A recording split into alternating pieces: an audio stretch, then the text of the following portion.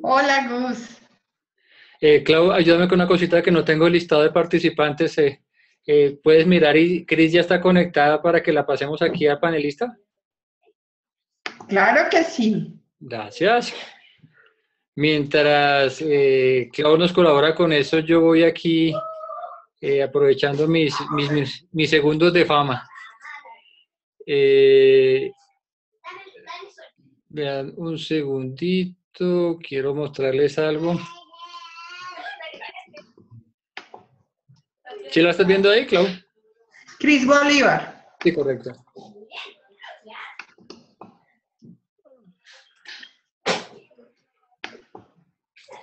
Pero no la puedo pasar. ¿Por qué? Ah, tú no se dejó, espérate un segundito. Dame un segundito.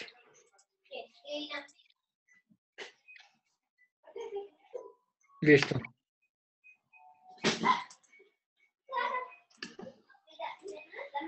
Eh, mientras Cris eh, entra a la sala, eh, quiero comentarles eh, dos cositas.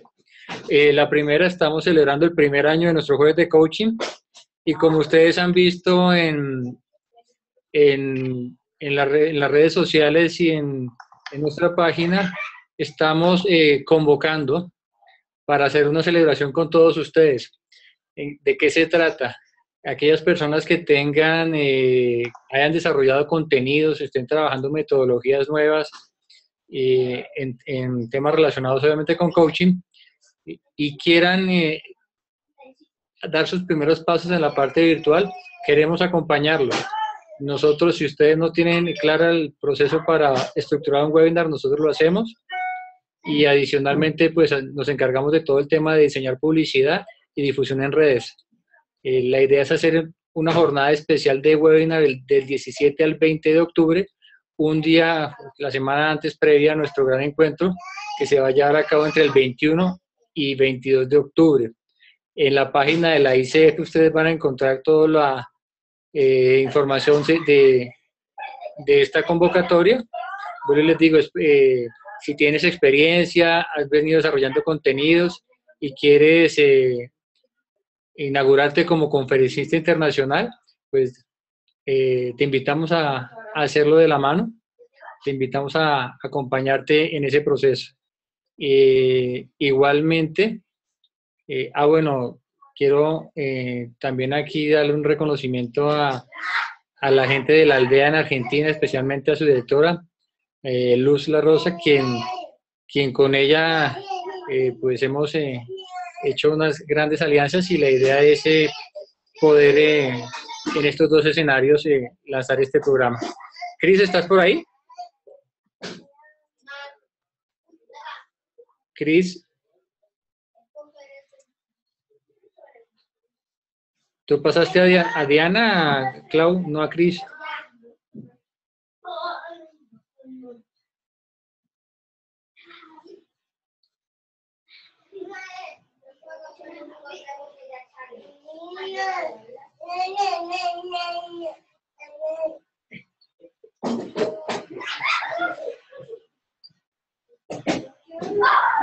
Esperen un segundito, que está un poquito lenta la, la conexión. Denme un segundo, por favor. Mientras tanto, yo voy aquí saludando a Raúl de... A Raúl, a Verónica, a Ángel, a William, a mi amiga Luz. Luz, bendiciones, gracias por estar aquí. Hola, Hola Cris. Ahora, por fin. Ahora os veo. ¿Cómo estás, Cris? Muy bien, muy bien. Perfecto. Bueno, para los que no conocen a Cris, Cris en este momento se encuentra en Barcelona, España. Creo que son las 3 de la mañana allá. Las dos. Cris, sí, sí. gracias por acompañarnos el día de hoy. Gracias por aceptar la invitación de, de la ICF Colombia de, desde esta parte. Ah, se me ha ido tu voz. Ahora. ¿Ahí me escuchas? Ahora, ahora, sí. Eh, Cris es eh, MCC de la ICF.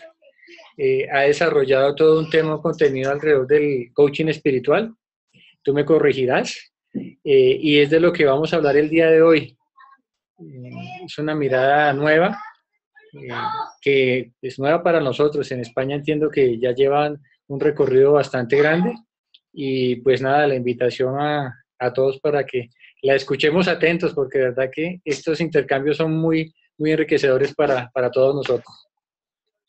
Eh, Cris, en sala nos acompaña Claudia Sánchez, quien hace parte de la coordinación educativa del capítulo. Eh, tenemos que en este momento 61 personas en, sala que irán entrando a medida que pase el tiempo. Creo que hasta las 7 y 10, 7 y 15 terminan de entrar. Eh, tenemos 187 inscritos para este webinar.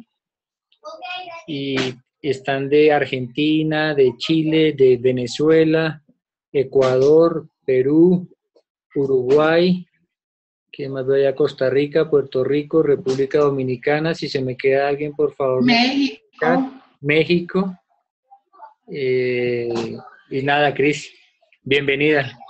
Gracias a vosotros por la invitación y por poder compartir ¿no? con, con, una audiencia tan amplia y tan variada ¿no? en cuanto a países. Es todo un honor. Cris, el auditorio es tuyo. Muy bien, perfecto. Entonces, eh, no sé cómo lo hacéis por aquí, si preferís verme a mí o bueno, yo iré cambiando, iré poniendo algunas de las transparencias, ¿no? En la medida en que vayan siendo útiles. para mí, bueno, en, primer lugar me, presento. Em, a ver, voy a ver cómo compartir aquí. Eh, compartir el escritorio. Vale, perfecto. Cuando yo comparto el escritorio, ¿me seguís viendo a mí, además del escritorio? Creo que sí, ¿verdad?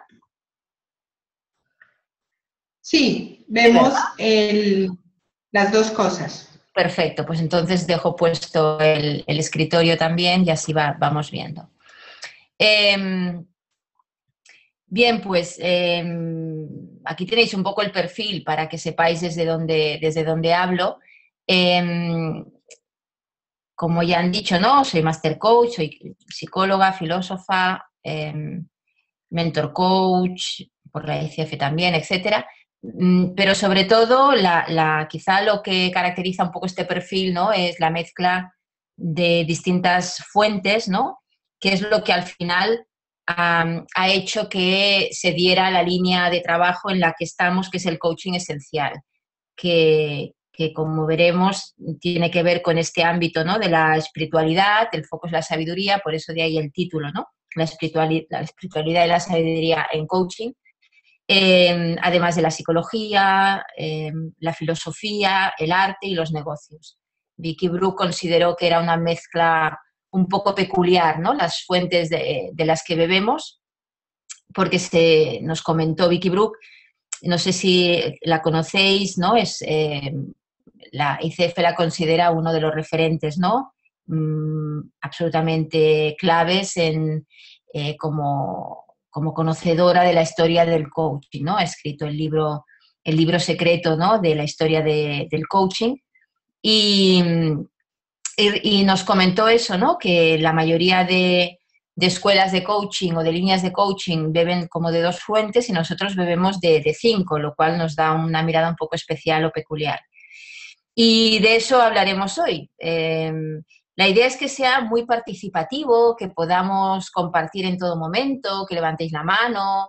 Yo por mí encantada de, ir eh, respondiendo de forma interactiva ¿no? a lo que vayamos diciendo, más que soltar yo un rollo y a la hora y media eh, dejaros media horita o 20 minutos para típico de preguntas, ¿no? Porque igual estará muy saturado ya y es mejor, ¿no? Que vayamos eh, compartiendo en la medida en que vayan pasando los contenidos y, las prácticas, ¿no? Intentaré también aportar algún ejercicio, de manera que todos podamos ir siguiendo el hilo de lo que se está diciendo y, a partir de las propias preguntas y cuestiones. Así que voy a ir empezando introduciendo el tema, ¿no? Y ya me diréis, ya, ya veremos a ver por dónde va la cosa.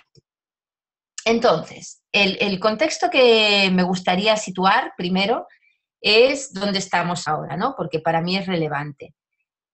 estamos en la posmodernidad, supongo que a todos ya os suena, y, esta posmodernidad implica pues, que es un final de etapa, la etapa moderna. Y en la etapa moderna pues compramos varios cuentos, pero sobre todo el que más compramos, ¿no? el que lo caracteriza es la racionalidad, como, como em, instrumentalidad, ¿no? como eh, forma en que podemos conseguir las cosas a través de la tecnología, a través de la planificación, a través de podemos gestionar los recursos de manera que al final las personas, ¿no? Eh, gracias a nuestra gran capacidad racional, pues podemos fijar un objetivo, poner la dirección ahí, eh, planificar y hacer planes de acción para conseguir eh, los objetivos que queremos.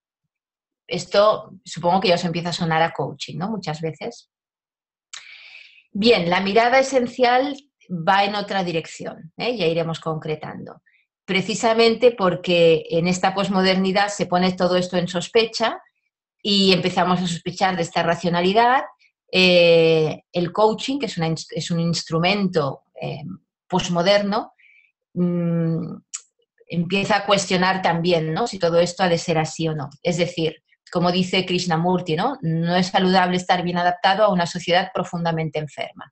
La sociedad moderna está en crisis, se entra en la época de sospecha de esta modernidad de lo que compramos ahí, empieza a entrar pues el mundo de las emociones, eh, bueno, ¿no? otros discursos, la inteligencia emocional, etcétera, etcétera. Y, se pone en cuestión si esta mirada pragmática, yang, eh, de consecución de objetivos eh, a través de la racionalidad, pues es, todo o, o, hay más. ¿no?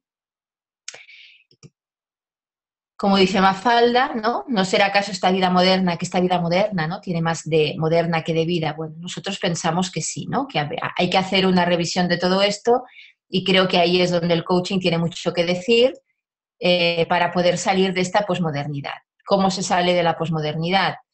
Bien, pues eh, yendo al potencial humano, yendo a, a ir a un espacio que va más allá de esta racionalidad, este mundo yang, que luego veremos en el modelo de la sabiduría que os presentaré. Y por lo tanto, volver a despertar, volver a, ir a la autenticidad que somos, volver a un espacio de sabiduría, de estar en contacto con la sabiduría y no tanto con el mundo del ego, ¿no? desde donde vivimos en esta sociedad, sobre todo en este momento tan crítico. No sé si aquí estáis de acuerdo conmigo. Em, porque estamos entrando en este espacio de que, vamos a entender por espiritualidad, que vamos a entender por sabiduría, eh, y, cómo lo relacionamos todo esto con el coaching, el sentido que pueda tener el coaching y qué tipo de coaching. ¿Queréis hacer algún comentario, alguna pregunta? Eh, hasta aquí.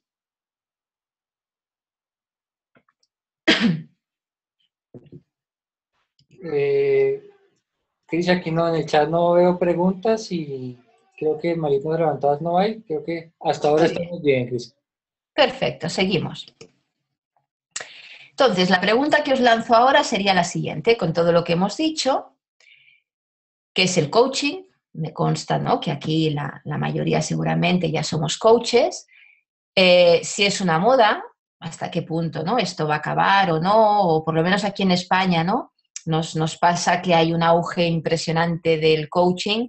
Em, ¿no? Por aquí se suele decir que eh, levantas una piedra y te salen 100 coaches, ¿no? Allí no sé cómo, o en cada país de lo ¿no? que estamos ahora conectados, no sé cómo va la cosa. Pero sobre todo, sobre todo, ¿cuál sería la aportación del coaching hoy en este contexto posmoderno ¿no? del que estamos hablando? Os dejo unos segundos de reflexión y, a ver cuál es, cuál es vuestra, vuestra mirada, ¿no? vuestra opinión al respecto.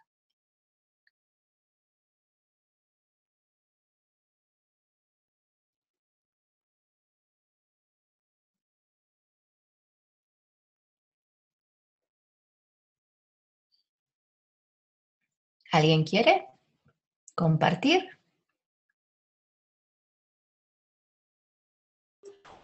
Cris, aquí en el chat, Ángel dice es una herramienta de transformación y acompañamiento que llegó para quedarse, acompañamiento. Muy bien. No sé, Clau, si alguien tenga manitos levantadas.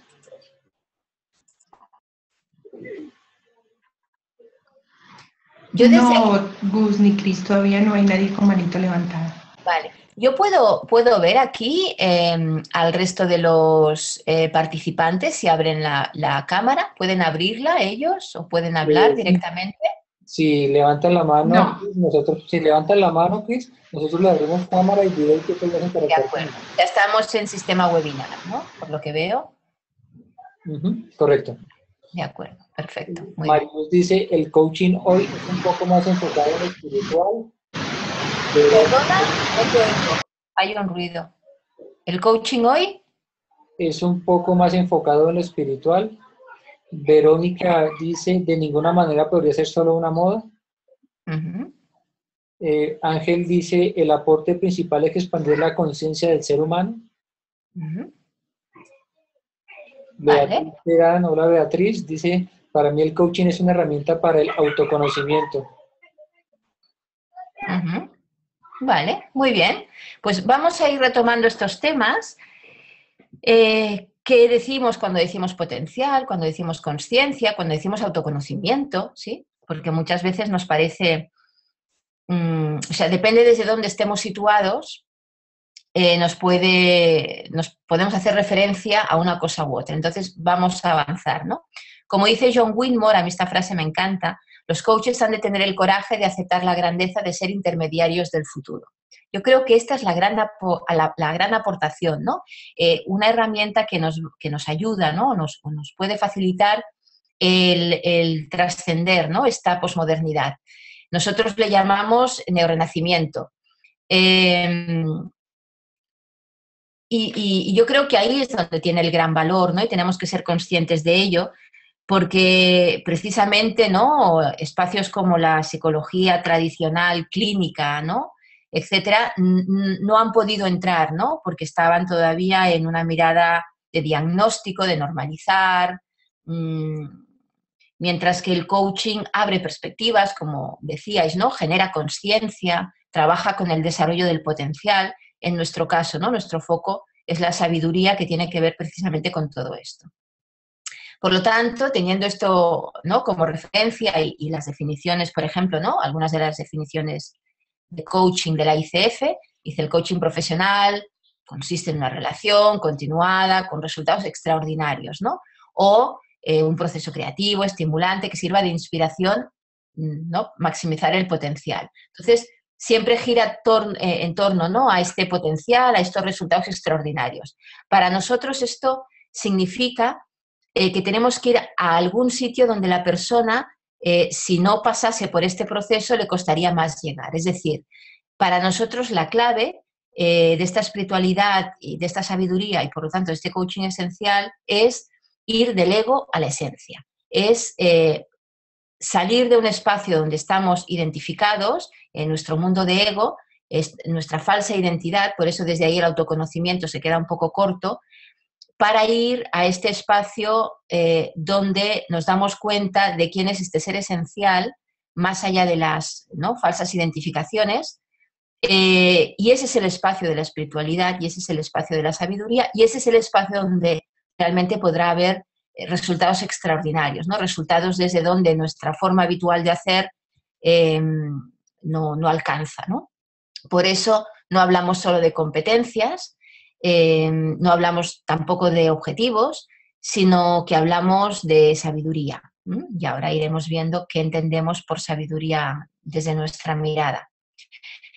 Em, para hacer esto, también creo que vale la pena em, hacer una, alguna distinción más, ¿no? Por ejemplo, nosotros que vivimos en un mundo tan científico, ¿no? Eh, donde las neurociencias, sobre todo hoy en día, ¿no? Eh, en nuestro ámbito, pero en, general la ciencia ¿no? es el nuevo Dios. Me gusta mucho esta distinción que hace Habermas, filósofo, donde distingue las ciencias en base a su interés, ¿no? a su objeto de interés. Entonces hay las ciencias empíricas, que son estas que pretenden tener el control ¿no? Eh, de, la naturaleza, eh, que es este mundo más racional, Em, y al cual incluso la psicología ha querido parecerse. Pero la psicología es una ciencia del espíritu, ¿no? Y aquí vemos la palabra espíritu. la psicología es la ciencia precisamente por excelencia del espíritu, ¿eh? Eh, eh, de, psique, ¿no? Psicología, espíritu, alma. Las ciencias del espíritu lo que les interesa es la comprensión, ¿sí? es el sentido, es, son em, subjetivas, ¿no? Pero además tenemos las ciencias críticas o filosóficas, como la filosofía en sí misma, ¿no? que su interés es la autorreflexión, el autoconocimiento, ¿no? el conocerte a ti mismo socrático. Claro, si empezamos a ver todo esto, vemos que el, coaching eh, casi que bebe más de la filosofía, ¿no? con, Sócrates como primer coach, eh, que de otras ciencias. Y en cualquier caso se acerca a las ciencias del espíritu, la filosofía, la psicología, la pedagogía, la antropología pero está bastante lejos de las ciencias empíricas, porque están en otro, tienen otro interés, ¿no? Eh, sin embargo, todavía hay líneas de coaching así como más americano, ¿no? El primer coaching que nos empezó a entrar, muy competencial, muy de resultados, ¿no? De objetivos, que pretenden ese control de lo que tiene que ocurrir, ¿no? Desde esta finalidad, que no sé yo, ¿no? Dónde situarlas. Ahora quizá podemos hacer una reflexión también al respecto. Pero en cualquier caso, es bueno empezar a tomar conciencia de que el coaching bebe tanto de las ciencias del espíritu, pero sobre todo comparte ¿no? con las ciencias críticas su interés, sobre todo el interés emancipatorio, es decir, el ir hacia el futuro, el ir hacia ese espacio de libertad y de desarrollo del ser eh, para que pueda situarse desde otro sitio y con eso hacer otras cosas o que ocurran otras cosas. Este yo creo que es el espacio fundamental.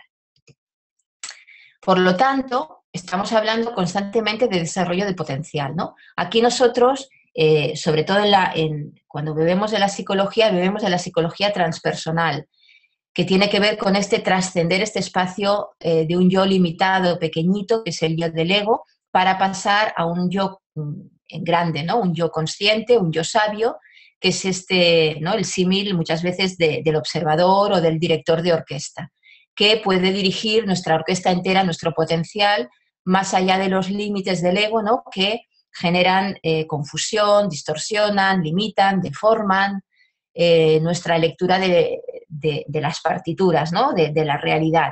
Es decir, no solamente hacemos proyecciones, sino que hacemos reyecciones, ¿no?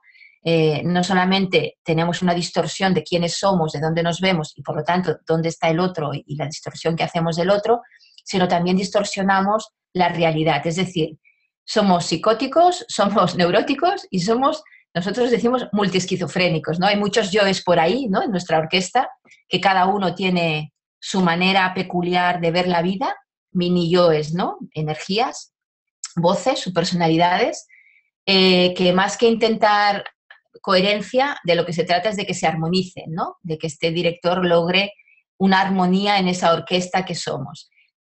Esta es la mirada, ¿no? De, este, este esta, mirada espiritual, ¿no? De esta completitud del ser que somos eh, y que podemos orquestar desde nuestra sabiduría interior. Esa sería nuestra mirada en el coaching esencial. No sé si queréis comentar algo hasta aquí. Yo os voy dejando espacios ¿eh? para que podáis entrar, no, si no nos vamos a indigestar ¿no? con, los contenidos. Okay. ¿eh? Prefiero que vayamos ir poco, yendo poco a poco y reflexionando sobre lo que estamos diciendo, cada uno lo mire en su caso, ¿no? desde su mirada, qué hay ahí que, le resuena y que no, y luego poco a poco iremos entrando en algún ejercicio también. Eh, Cris, aquí dice Florencia Mancilla, eh, ¿Sí? nos hace diseñarnos desde nuestras metas. Ernesto es el arte de descubrir la ciencia del ser humano como, entre, como ente particular. Este arte es un proceso entre coach y coachee. Eh, Germain, Germain Jaime dice, me encanta todo el contenido. Eh, Ángel dice, excelente exposición, la felicito eh, coloca, eh, todo resuena conmigo ya que estoy uniendo en mi negocio la parte espiritual.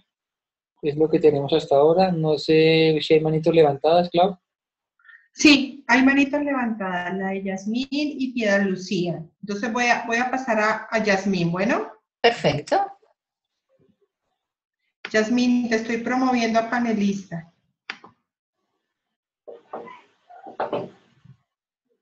Tenemos un espacio. Hola, Yasmín. Hola, Yasmín. Hola, ¿qué tal? ¿Cómo están? Muy bien, bienvenida. ¿Vi? Muchas gracias, es un gusto estar aquí y compartiendo con ustedes y gratamente sorprendida de lo que estás compartiendo. La verdad es que mm, eh, justamente este año yo empecé a investigar sobre este tema, no, escuchándolo directamente desde el coaching, sino desde, algunos otros exponentes, como por ejemplo Enrique Corbera, escuché a Covadonga, ¿verdad? Y, bueno, eh, eh, desde mi opinión es justamente esto esta búsqueda de esa espiritualidad que en realidad tiene que ver con nuestra esencia, con nosotros por dentro y no mirando para afuera. Exacto. Se ha cortado, ¿eh? No sé los demás, pero a mí se me ha cortado esta comunicación. Eh, sí, se cortó, se cortó. Vale. Se congeló la imagen de Yasmin inclusive. Bien, si, acaso ya la retomaremos. Pero sí es cierto, ¿eh? O sea, eh, yo creo que hay que para mí, ya lo veremos, ¿no? Es importante que el coach tenga presente esto eh, para no engordar más al ego. Entonces, cuando, y ahí entraríamos ya también en criterios de la primera core competence de, la ética, ¿no? Eh, del código deontológico. ¿Para quién estamos trabajando? Para, la demanda del ego, sea personal, organizacional especialmente, ¿no? Que todavía están muy instalados en, en los egos, eh, o no. Entonces creo que ahí hace falta una reflexión interesante, ¿no? Para no contribuir a más de lo mismo y seguir engordando esta sociedad egoica y neurótica en la que, en la que estamos, ¿no? Como decía Krishnamurti. Por lo tanto, para nosotros el sentido espiritual tiene que ver con este ser en completitud, esta armonía entre cielo-tierra, masculino-femenino, em, sin juicio, desde la mar, desde la aceptación en profundidad, eh, desde la humildad, etcétera, ¿no? iremos llegando aquí. Di, sí, ¿alguien decía algo? Sí, Cris, eh, ¿te acuerdas que estaba también levantada la manito de Piedad Lucía? Bien. ¿Lo paso? Sí. Piedad, te estoy mandando a panelista.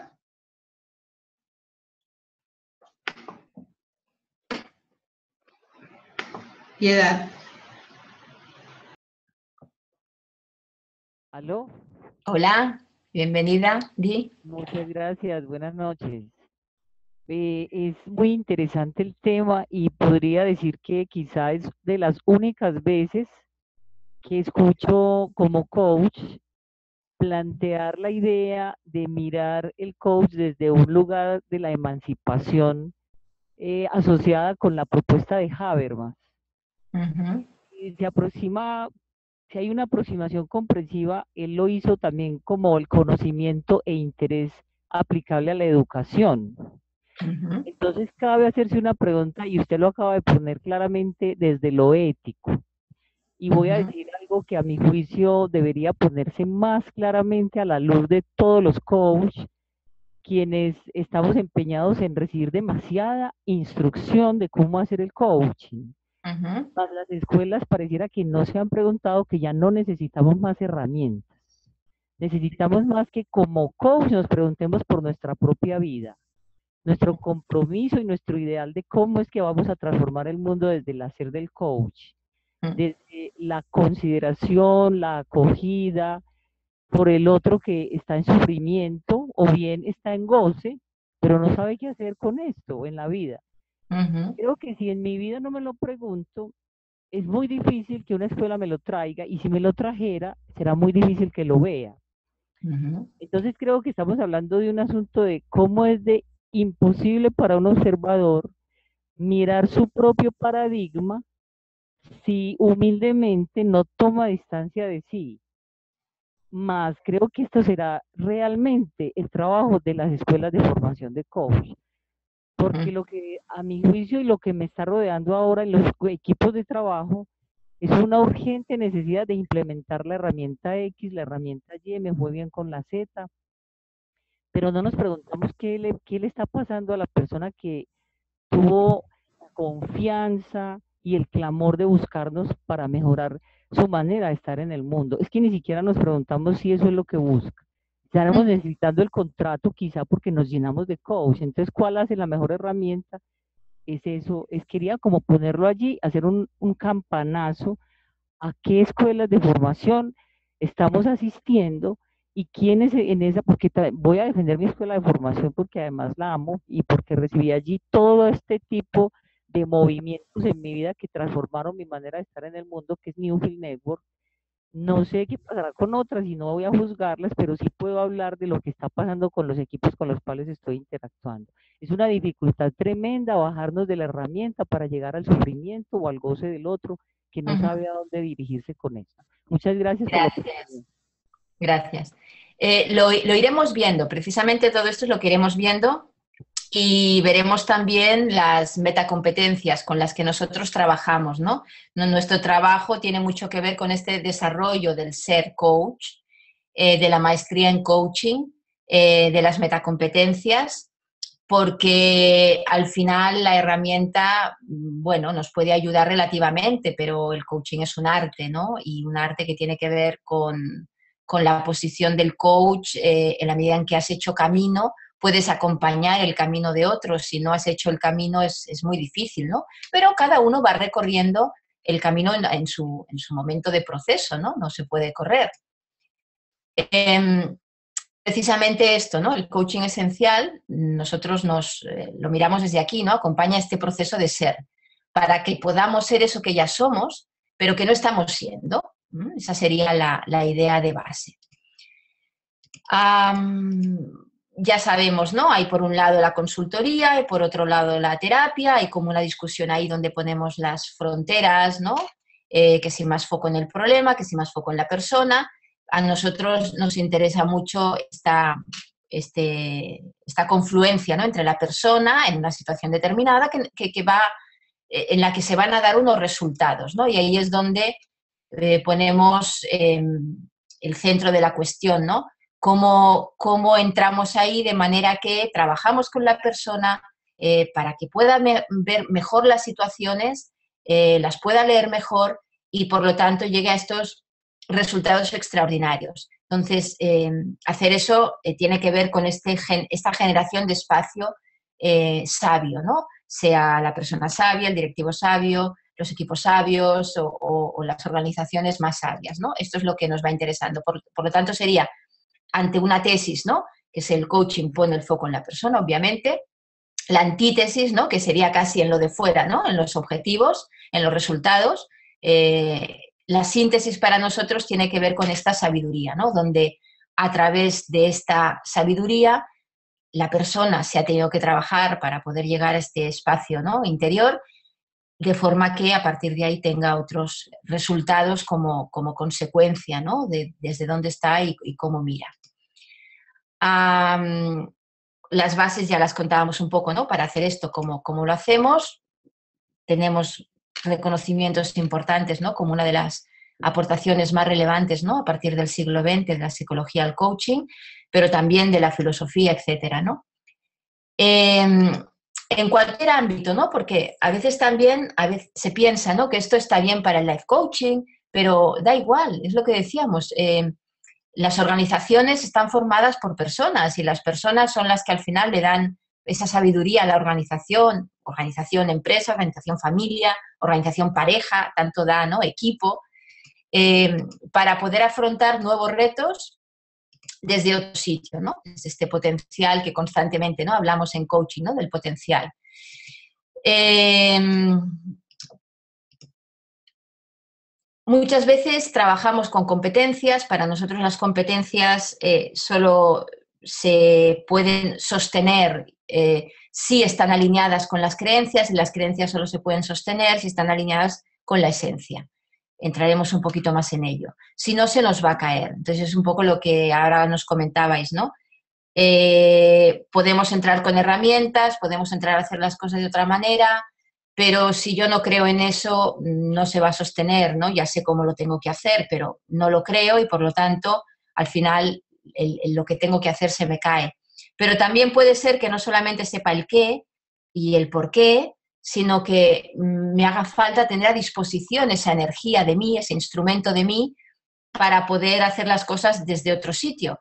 Si yo no tengo a disposición esa energía, ese potencial, aunque entienda el por qué, eh, tampoco se va a sostener. ¿no? Entonces, ese es el, siguiente nivel de profundidad en el que entramos. Cuando hablamos de estos espacios de sabiduría, ¿de qué estoy hablando? ¿Cómo, cómo lo, miramos nosotros? ¿no? ¿Cómo lo, vamos a definir? Eh, los seres humanos vivimos en mundos de teoría. Hola, Yasmín, vuelves a estar por aquí. Em, vivimos en mundos de teoría, en mundos de creencias, en mundos abstractos. Eh, esto es inevitable, estamos ahí, sí, como humanos. Sin embargo, vivimos en mundos de experiencia, o sea, al final acaba sucediendo algo en lo real, más allá de nuestro mundo mental. Normalmente funcionamos desde la bajada, ¿sí? Esta bajada es lo que suele, solemos estar acostumbrados en el mundo más moderno, más occidental, ¿no? Nuestro mundo pues eso, capitalista, occidental, moderno.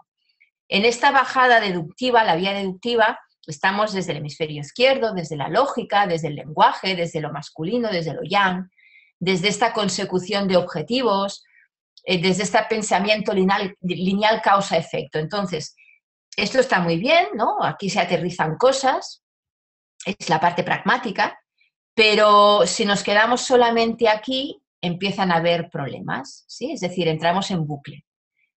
Em, ¿Qué pasa si nos quedamos solo aquí? ¿Alguna idea? No hace falta que intervengáis verbalmente, simplemente con que lo pongáis en el chat ahora. ¿Alguna idea de qué problema hay si nos quedamos solo con esta bajada?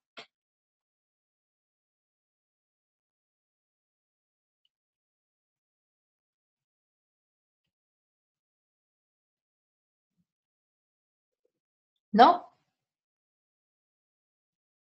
No. Vale. Si nos quedamos en la bajada, eh, fijaos que tiene que ver con el mundo de las expectativas. Eh, yo pienso algo, yo creo algo, yo decido algo y eso es lo que tiene que ocurrir en el mundo. Pero claro, luego el mundo hace lo que hace, pasa lo que pasa, ¿no? Más allá de lo que yo pretendo, quiero, necesito que ocurre, había previsto que ocurriera. Por lo tanto, eh, desde aquí normalmente nos llega la frustración, la impotencia, mm, eh, eh, siento que no puedo controlar, los egos se me disparan ante el miedo de que no ocurra eso que yo necesito, etc. Por lo tanto, es necesaria la subida. La subida tiene que ver con la vía inductiva, es donde ampliamos conocimientos, donde está la intuición, lo femenino, el yin, el sentido, eh, lo invisible, es este saber sin saber que sé. Es decir, me pongo en contacto con la experiencia, conecto con ello, ¿no? La empiria que llamaban los griegos, me dejo traspasar por esta experiencia para aprender de ella. Y desde ahí lo elevo a lo teórico, a lo abstracto, a lo mental, para generar conocimiento nuevo que luego podría aterrizar. Entonces, eh, cuando integramos las dos vías, cuando las armonizamos, cuando no nos, peleamos con ninguna de ellas, cuando entendemos ¿no? el valor que aporta cada vía, es cuando podremos hablar de sabiduría. O de Segel, ¿no? desde la Cábala, o desde Suñata, ¿no? que en el mundo, ¿no? Eh, en el budismo. Es decir, siempre acabamos ahí, en la no dualidad, en esta armonía, ¿no? esta completitud, y eso es la espiritualidad también, ¿no? este, este ser entero. ¿no? Eh, en coaching, ¿qué hacemos? Fijaos, ¿no? En coaching, em, a veces, sobre todo cuando empieza, ¿no? Desde líneas más eh, eh, competenciales o, demandas, ¿no? De los clientes, de quiero ya conseguir no sé qué cosa, podemos perdernos en la bajada. Sin embargo, el buen coach, el buen coaching, empieza por la subida. Y si miramos las core competences de la ICF, veremos que al principio tienen que ver con la subida con la escucha, con el generar conciencia, etcétera, etcétera, ¿no? Eh, el coach tiene que poder conectar con la intuición y, eso significa salir del mundo del juicio eh, para poder conectar directamente con la experiencia, con lo real, con lo que me trae el coachí, con lo que es este coachí, es decir, con la hermenéutica, con la lectura de lo que está ocurriendo. claro que va a haber sesgo, porque no podemos escaparnos ¿no? de, del yo que traemos y de nuestra mirada, ¿no? Pero la idea es, desde la intuición, que podamos trascenderla un poco para a partir de ahí empezar con la bajada cuando ya se tiene algo nuevo, cuando ya ha habido aprendizaje, cuando ha habido insight, o los momentos ajá que a veces se dicen, o eureka, no sé, ¿no? Se le da muchos nombres, eh, de forma que las últimas core competences tienen que ver con la bajada, tienen que ver con el plan de acción, ¿no? Etcétera. Cómo vamos aterrizando todo esto y cómo lo volvemos a llevar a la experiencia en una misma sesión, de sesión a sesión, a lo largo del proceso, etcétera, etcétera. ¿Sí? Entonces, cuando estamos hablando de sabiduría, estamos hablando de espiritualidad, estamos hablando de completitud, estamos hablando de armonía, estamos hablando del ser completo que somos. Eh, en primer lugar, el coach para poder hacer este trabajo eh, y llevar al coachee hacia estos espacios. ¿Sí? ¿Se ve la idea? Em, ¿Algo que queráis comentar al respecto?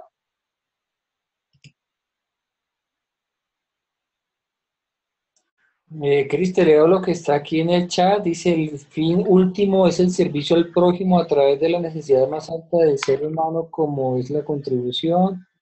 Eh, profundizamos en el ser. Es lo que está apareciendo en este momento en el chat. Muy bien.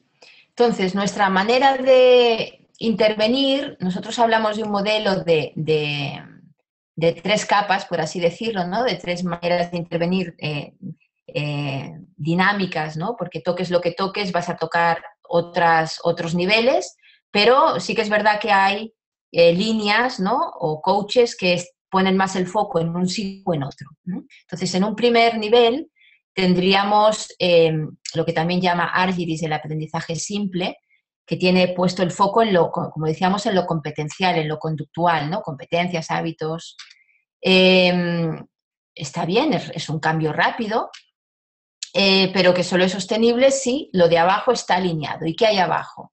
Bueno, pues entramos en un nivel siguiente, ¿no? Más complejo para un coach, que tiene que ver con las creencias, los valores, Aquí tendríamos un coaching más transformacional. Argyris le llama el aprendizaje generativo de segundo orden, de más complejidad, porque estamos trabajando más con un nivel, ¿no? con un nivel más de, del inconsciente. Eh, hasta ahí diríamos ¿no? que eh, la profundidad es mayor, pero todavía se puede ir más allá, ¿no? que es este tercer nivel donde estamos, ponemos el foco nosotros, que tiene que ver con esta esencia, sabiduría, esta motivación existencial a nivel energético. Eh, nosotros le llamamos a esto un, nivel 3, un aprendizaje de tercer orden o epistemológico, donde hacemos esta subida ¿no? y esta, esta bajada eh, que veíamos antes ¿no? hacia la sabiduría. Depende de cómo nos movamos, generamos más motivación para la transformación o más autoconocimiento e insight dentro ¿no? de esta comprensión eh, de dónde está el coachee, cuál es su entorno, ¿no? dónde, está, dónde está metido, generando sabiduría, eh, expansión de la conciencia, desarrollo espiritual, inteligencia espiritual, le podemos llamar de muchas maneras. Eh, nosotros tenemos el foco puesto, como decíamos, en el tercer nivel. Eso es lo que vamos ¿no? entendiendo cuando estamos hablando de, espiritualidad y de sabiduría aplicado al coaching. De lo que estamos hablando en definitiva es que hay una esencia, hay un núcleo, una vulnerabilidad, venimos al mundo con eso, se genera una herida en ese choque, ¿no? Con, esa, con ese espacio de realidad donde yo me siento desprotegido, pequeño, choco con el lenguaje del otro, eh, choco con la demanda del mundo, ¿no? Hacia mí, soy, tengo un año, dos años, ¿eh? empiezo a inventar y eh, me llevo al final una sensación, pues, de, impotencia, de desprotección, de, no ser lo que tengo que ser, lo que me pide mi mamá, ¿no? etcétera, etcétera, que genera una herida. Entonces, mm, por ejemplo, aquí, si queréis profundizar en este, en este espacio, hay un artículo que se publicó en la ICF, tenemos una versión más larga en la web, en nuestra web de Essential Institute, em, que habla de las heridas, del ego, de cómo salir de ello, por ejemplo, a través del Enneagrama, ¿no? que es una herramienta que nos ayuda y con la que trabajamos también nosotros en Coaching Esencial.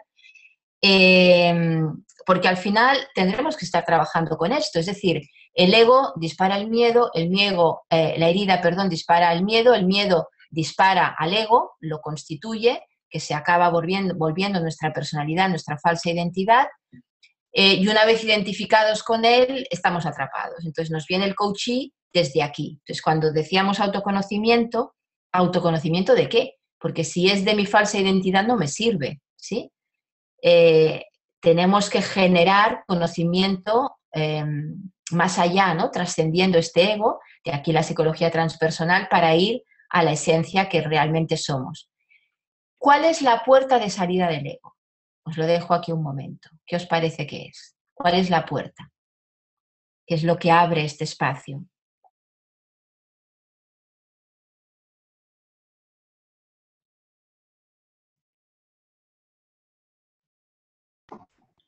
Están compartiendo la conciencia.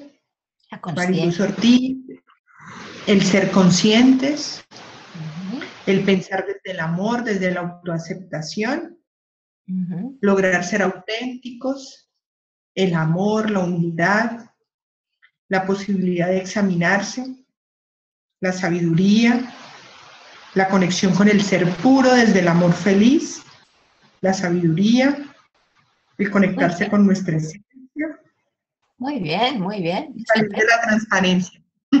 Estamos muy alineados, me, me gusta.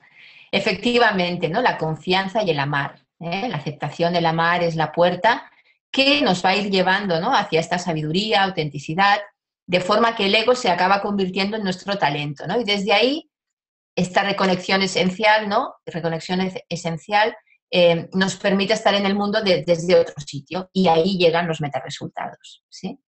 Bien, como compartimos, mm, eh, no hay que darle más vueltas, ¿no? Vuelvo a esta idea, por lo tanto, de armonizar, de integrar eh, todo este ser. Nosotros utilizamos distintas herramientas para ello. Enneagrama hemos comentado, pero también pues que es constelaciones, cábala, focusing, yo qué sé, montones de cosas, ¿no? Meditación, etcétera, etcétera. Em, para poder llegar a esta armonización del ser que somos. Entonces, os planteo ahora una herramienta, por ejemplo, que nosotros utilizamos algunas veces y os lo planteo también como ejercicio para vosotros. Entonces, si tenéis mm, papel y boli, ¿sí? Eh, para hacer el ejercicio en la medida en que yo lo vaya eh, exponiendo, eh, os lo dejo ya también como herramienta de trabajo, ¿no? Sobre todo esto. Es una herramienta o es un, un esquema, ¿eh? eh, que, que, viene de la, de, del voice dialogue, de la psicología de los yoes junguiana, y que nos va planteando ¿no? eh, los distintos espacios del ser que, que, somos. Entonces, diríamos que podríamos hablar de un ser primario, una energía primaria, este ser que se empieza a desarrollar, ¿no? Eh, se empieza a construir, también le podemos llamar ego, y eh, os empiezo a, eh, el ejercicio sería, ¿cuáles son estas energías dominantes? ¿no? ¿Cuáles son estas energías que están en el poder, que están en la, en la posición del director de orquesta? Si nos definimos, si decimos yo soy tal, ¿no? Y me defino, ¿qué pondría ahí? ¿Con qué estoy identificado? Cómo me suelo comportar, desde dónde me suelo comportar. Por ejemplo, soy una persona responsable, o soy una persona alegre, o soy una persona tal, ¿no? ¿Cómo me describo? Este sería el mundo del ser primario, del ego. Entonces aquí podríamos tener pues, un perfeccionista, un complaciente, un controlador, un ocioso, un activista, en fin, podríamos poner, esto es un ejemplo, ¿sí? Podríamos poner distintas energías que son las que nos definen, cada uno las suyas, ¿no? El coach y las suyas, eh, y que son las que conforman esta, esta identificación, ¿no? esta, esta, identidad, esta falsa identidad, porque es un ser pequeñito, es un ser limitado, ¿no? Y, me parece que soy esto y no soy otra cosa. A, a, veces, más que una etiqueta así, lo que sale es un personaje, ¿no? Por ejemplo, a veces, ¿no? Tengo una Rottenmeier, entonces la Rottenmeier, no sé si a vosotros os suena, creo que sí, ¿no? Creo que era de Heidi. Eh, es este personaje severo, que pone límites, mmm, inaccesible, poco emocional, mmm, contundente, perfecto. ¿eh? Bueno, pues esta idea, ¿no? Aquí tendríamos unas cuantas de estas resumidas en una energía que le podemos poner una etiqueta, ¿no? Una etiqueta fuerte. Bueno, cada uno ponga las suyas, ¿eh? ¿Qué energías habría por ahí? Os dejo unos segundos de reflexión, luego, después de la charla, podéis dedicaros más a ello, ¿no? Pero así para que vayamos todos juntos, ¿no? Reflexionando sobre esto. Cada uno rellene las, eh, las energías que tendría aquí, ¿no? Con las que se siente identificado, las que le definen. Si ahora ya sois sabios, ¿eh? ya estáis en contacto con vuestra esencia, pensad antes, ¿eh? lo que me definía antes.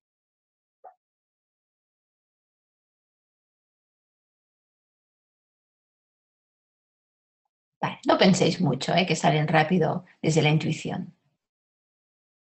Bien, eh, entonces, en todas estas, eh, en este grupo hay alguien especialmente interesante que es el crítico, el crítico interior. el crítico interior es una figura, a veces en algunas escuelas se le suele llamar el saboteador, pero no sé si es exactamente lo mismo.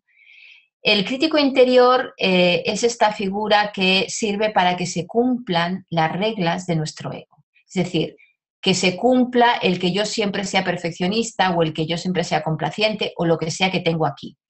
Cuando eh, el crítico está observante, cuando ve que yo me salgo de este camino, eh, me habla duramente, me juzga, me condena, es todo o nada, eh, para que yo siga en este camino. Lo puede hacer ensalzándome para que yo sea más perfecto todavía, porque yo puedo ser la hostia de perfecto, o hundiéndome en la miseria porque no soy perfecto y porque debería serlo y porque parece mentira lo imperfecto que soy. Da igual si me habla en un sentido más inflacionista o deflacionista, sigue siendo el crítico que me quiere ahí porque es importante, como hemos visto antes, em, el ego para proteger esta herida. El, el crítico se dedica a que no nos salgamos del camino de nuestro ego para poder proteger nuestra herida y se dispara con el miedo. ¿sí? Eh, por lo tanto, tiene una función concreta que vale la pena escuchar, sobre todo para no creérnoslo tanto. ¿sí? Eh, no va de discutir con él, no va de eh, pelearse con el, con el, crítico, sino que va de convertirlo en nuestro aliado, ver, ver qué es lo que quiere, qué, quiere proteger y empezar a entender desde la mar que estaría bien incluir ¿no? más más instrumentos de nuestra, orquesta, ¿no? este potencial que decíamos. Por lo tanto, fuera de este ser primario que pretende proteger, eh, o sea, que está estructurado para proteger algo, está la vulnerabilidad. La vulnerabilidad es el niño interior. También aquí hay muchas calidades de niño, el niño travieso, el niño mágico, el niño rebelde, el niño soñador, el niño necesitado. Os dejo un momento para que localicéis vuestros niños interiores. Si podéis, si estáis en contacto con ellos y cuántos conocéis, cuántos hay en vosotros. Os dejo unos segundos.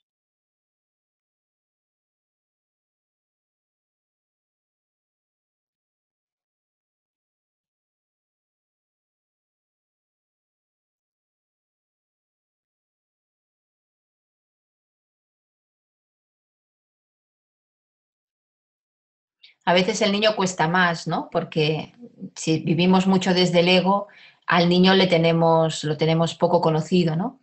A veces también ocurre que hay algún niño que está en la primaria, ¿eh? por ejemplo, el típico Peter Pan, ¿eh? tiene un niño exigente o un niño em, eh, rebelde un niño travieso en, en, la primaria, ¿no? Colocado en la primaria, que es el que nos domina, ¿no? Dominaría a, este que se suele llamar Peter Pan, ¿no? En Enneagrama sería el tipo 7, por ejemplo. Pero todavía hay más, ¿sí? O sea, este ego pretende proteger nuestra vulnerabilidad, nos dice que si somos esto, todo nos irá bien, no nos volverá a doler nada. Y para eso excluye una parte de nuestro ser. Esta parte que excluye es el ser renegado, la polaridad. En términos jungianos, la sombra, la polaridad. Eh, este ser renegado también aquí ¿no? hay muchas energías. Eh, si, por ejemplo, eh, no sé, en mi ser primario he puesto un, ocioso, pues en el ser renegado seguramente tendré al activista. O si tengo al activista en la primaria, pues en el ser renegado tendría el ocioso. O si tengo un eh, complaciente, pues tendré, o un altruista, tendré un egoísta, ¿no? En primera instancia. Luego, además, habrá muchas energías que yo conozco poco, que, las, que no me las...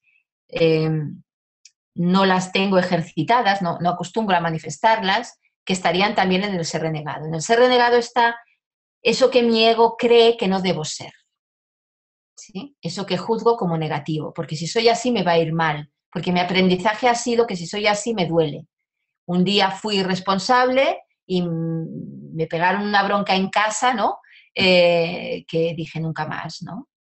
Y a lo mejor yo tenía, soy el hermano mayor, y a lo mejor yo tenía tres años y me dijeron que yo ya era el mayor y tenía que ocuparme del bebé que había nacido, ¿no? Y entonces yo ya era el mayor, el responsable, y cuando mi hermanito se cayó un día, pues bueno, me trataron de lo peor, ¿no? Con lo cual yo jamás me permitiré volver a ser irresponsable, ¿no? A pesar de que esto fue construido en una etapa donde yo no podía desarrollar todavía mi responsabilidad, probablemente, ¿no? O no a estos niveles.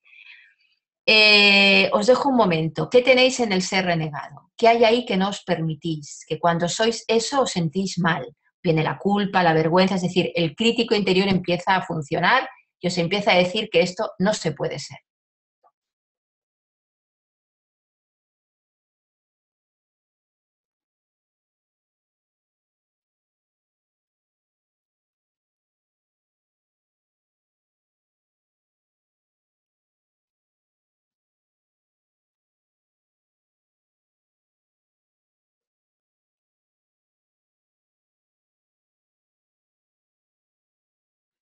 Vale, supongo que algo habréis puesto, ¿sí? Algunos más conscientes, otros menos. En cualquier caso, luego tendréis tiempo ¿eh? para hacer el ejercicio tanto como queráis. O si queréis, me podéis pasar un mail y comentarme cosas, o podéis ir a la web y hay muchos artículos relacionados con el tema, etcétera, etcétera. O, conferencias. Bueno, en la web hay un montón de recursos que podéis explorar luego con tranquilidad. Eh, Bien, ¿qué hacemos con todo esto? Esta ¿no? multiesquizofrenia que decíamos antes, ¿no? ¿Qué hacemos con esto? Em, tenemos al yo consciente aquí, metido dentro de la sopa del ego, ¿sí? Entonces no vemos nada, estamos identificados con la falsa identidad, desde aquí ¿no? Eh, proyectamos, sesgamos la realidad y lo que nos hace falta es ir elevando conciencia, ¿sí? Eso es lo que hacemos en coaching, ¿no? Estamos diciendo todo el rato que elevamos la conciencia, generamos, expandimos la conciencia eh, y trabajamos con el potencial. Por lo tanto, eh, elevar conciencia tiene que ver con darnos cuenta de este montaje. ¿Quiénes hay por aquí? ¿Qué dicen? ¿Qué piensan? ¿Cómo, cómo vamos a ir armonizando eso? Entonces, para hacer esto, este yo consciente tiene que cobrar sitio, ¿no? Y cuando vaya, hacemos esto, eh, con este reconocimiento lo hacemos a través de poder integrar el lado oscuro, ¿sí? poder abrazar al lado oscuro, al ser renegado. Y al hacer esto, el ser primario, el ego, se va debilitando, es decir, va ocupando su lugar en la, en la orquesta, dejándole espacio al director de orquesta, que es el yo consciente, que va incluyendo a otros instrumentos de la orquesta que desde el ego no se podían incluir. De forma que eh, la, vulnerabilidad misma también va quedando incluida. Ya no es alguien solo que proteger y, quien callar, ¿no? encerrar en el castillo para protegerla, sino que este proceso implica, desde la mar, como bien decíais, este cuidado de sí, ¿no? la epimeleia eautau que decían los griegos, ¿no? este eh, cuidar de uno mismo si no hay este cuidado de uno mismo, esta sanación de la herida que decíamos antes, eh, yo no puedo mm, eh, deshacer el ego. Eh, por lo tanto, me quedo atrapado en esta falsa identidad haciendo más de lo mismo. Por lo tanto, el amar implica cuidar de mí, reconocer ese ser que soy, abrazar mi lado oscuro para empezar a generar un yo consciente que abraza la esencia. Este es el camino que, eh, estamos planteando eh, que haga el coach para poder llegar al desarrollo del potencial, a la sabiduría interior, a los metaresultados, a, a aumentar conciencia, mm, etc. ¿Algo que comentar de lo que el ejercicio que habéis hecho, lo que estamos comentando? María habla de, es como soltar, las armaduras. Sí. Eh, Raúl dice, lo que hay en nuestro corazón habla la boca. Escuchar tu corazón. La armadura sería el ego, sería esta estructura que protege. Es lo que está escrito hasta ahora, Cris. De acuerdo, muy bien. Em, hay varias manitos levantadas igual. Sí, di. ¿Te comparto o al final? Sí, sí, sí. No, no, comparte. Sí, sí. Bueno, voy a compartir a Karim. Ah, aquí ya se me fue uno. a Sandra Esperanza León. Te voy a compartir a panelista. Sandra, bienvenida.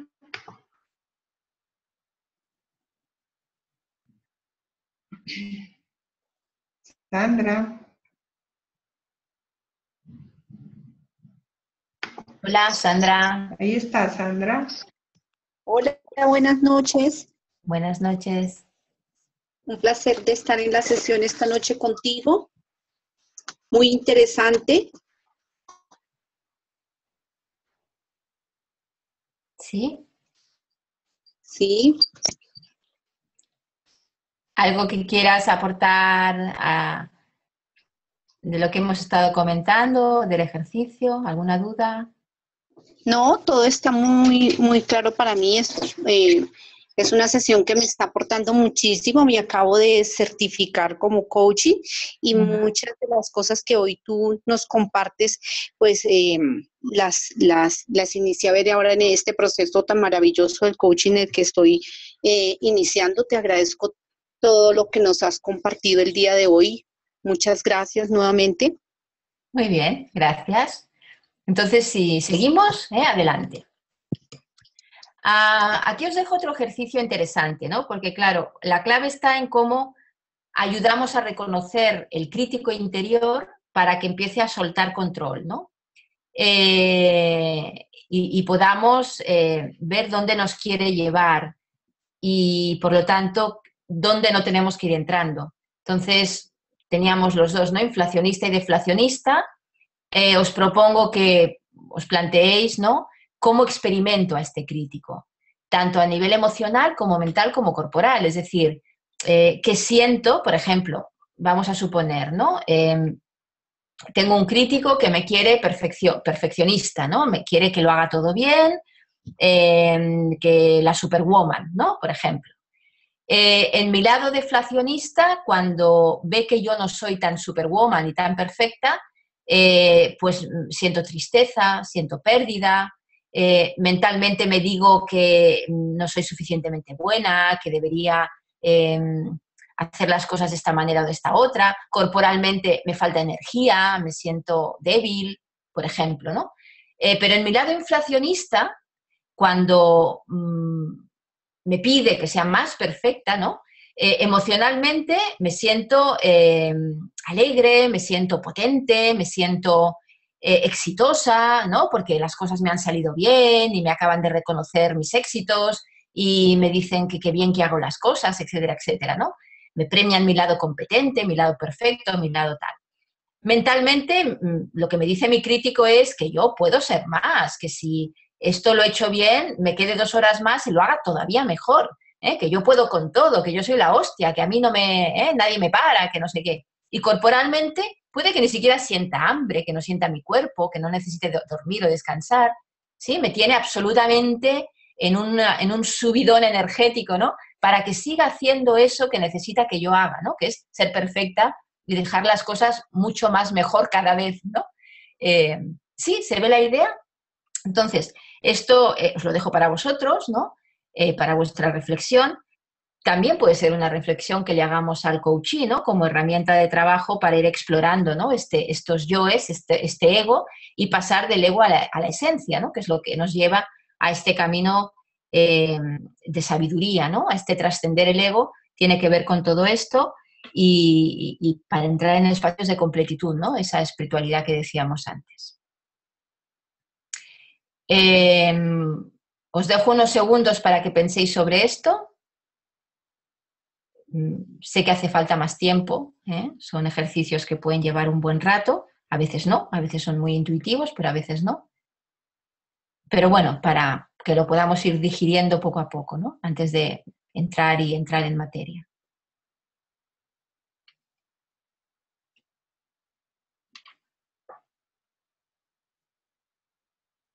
Vale. ¿Sí? ¿Sigo avanzando? ¿Alguien quiere decir algo?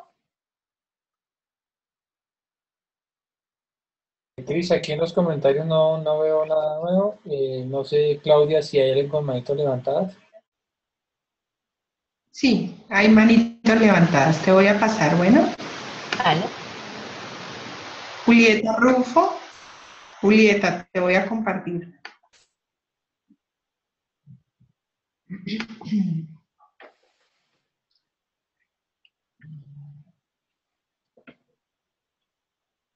toma su tiempo el pasar. Julieta, bienvenida.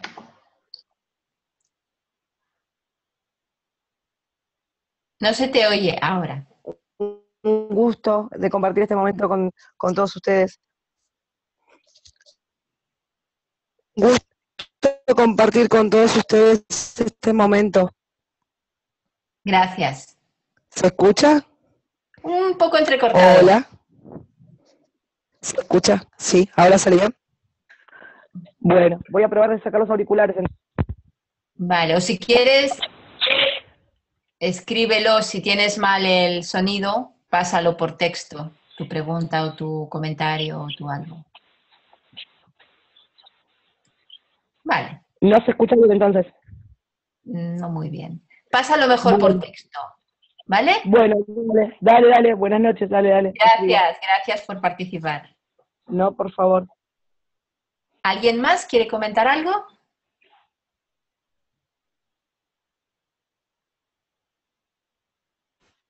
¿Tenemos más manitas levantadas? Sí, ya estoy pasando. Está Pilar Forero. Pilar, te voy a pasar. Aquí mientras tanto Ángel nos está diciendo, mi crítico interior de fraccionista me hace sentir triste, pensar que no me lo merezco y expresarlo con rabia. Muy bien. Hola Pilar. Hola Cris, ¿cómo estás? Muy bien, gracias, igualmente. Mira Cris, eh, bien, yo tengo una pregunta sobre todo el, la exposición que has hecho. Eh, es en relación con las heridas que tiene pues la persona, ¿no? Esta herida activa, activa el miedo, el miedo activa el ego, pero ¿es campo del coaching trabajar las heridas? Es una, es una pregunta que me hago porque lo que yo he vivido en mi experiencia de formación, en mi experiencia como coach, pareciese que ya entrar en el tema de los traumas, de las heridas profundas, es más campo de la psicología y de la psiquiatría que del coaching. Mm. No sé si nuestros procesos de formación son lo suficientemente robustos para entrar a trabajar estos temas. Y en mi experiencia personal, eh, cuando me estaba formando como coach, entré a tocar unas heridas de las cuales mi coach mentor no me pudo sacar y terminé en psicología. Quisiera saber tu, opinión, porque pues esta es otra mirada del coaching, ¿no? Sí.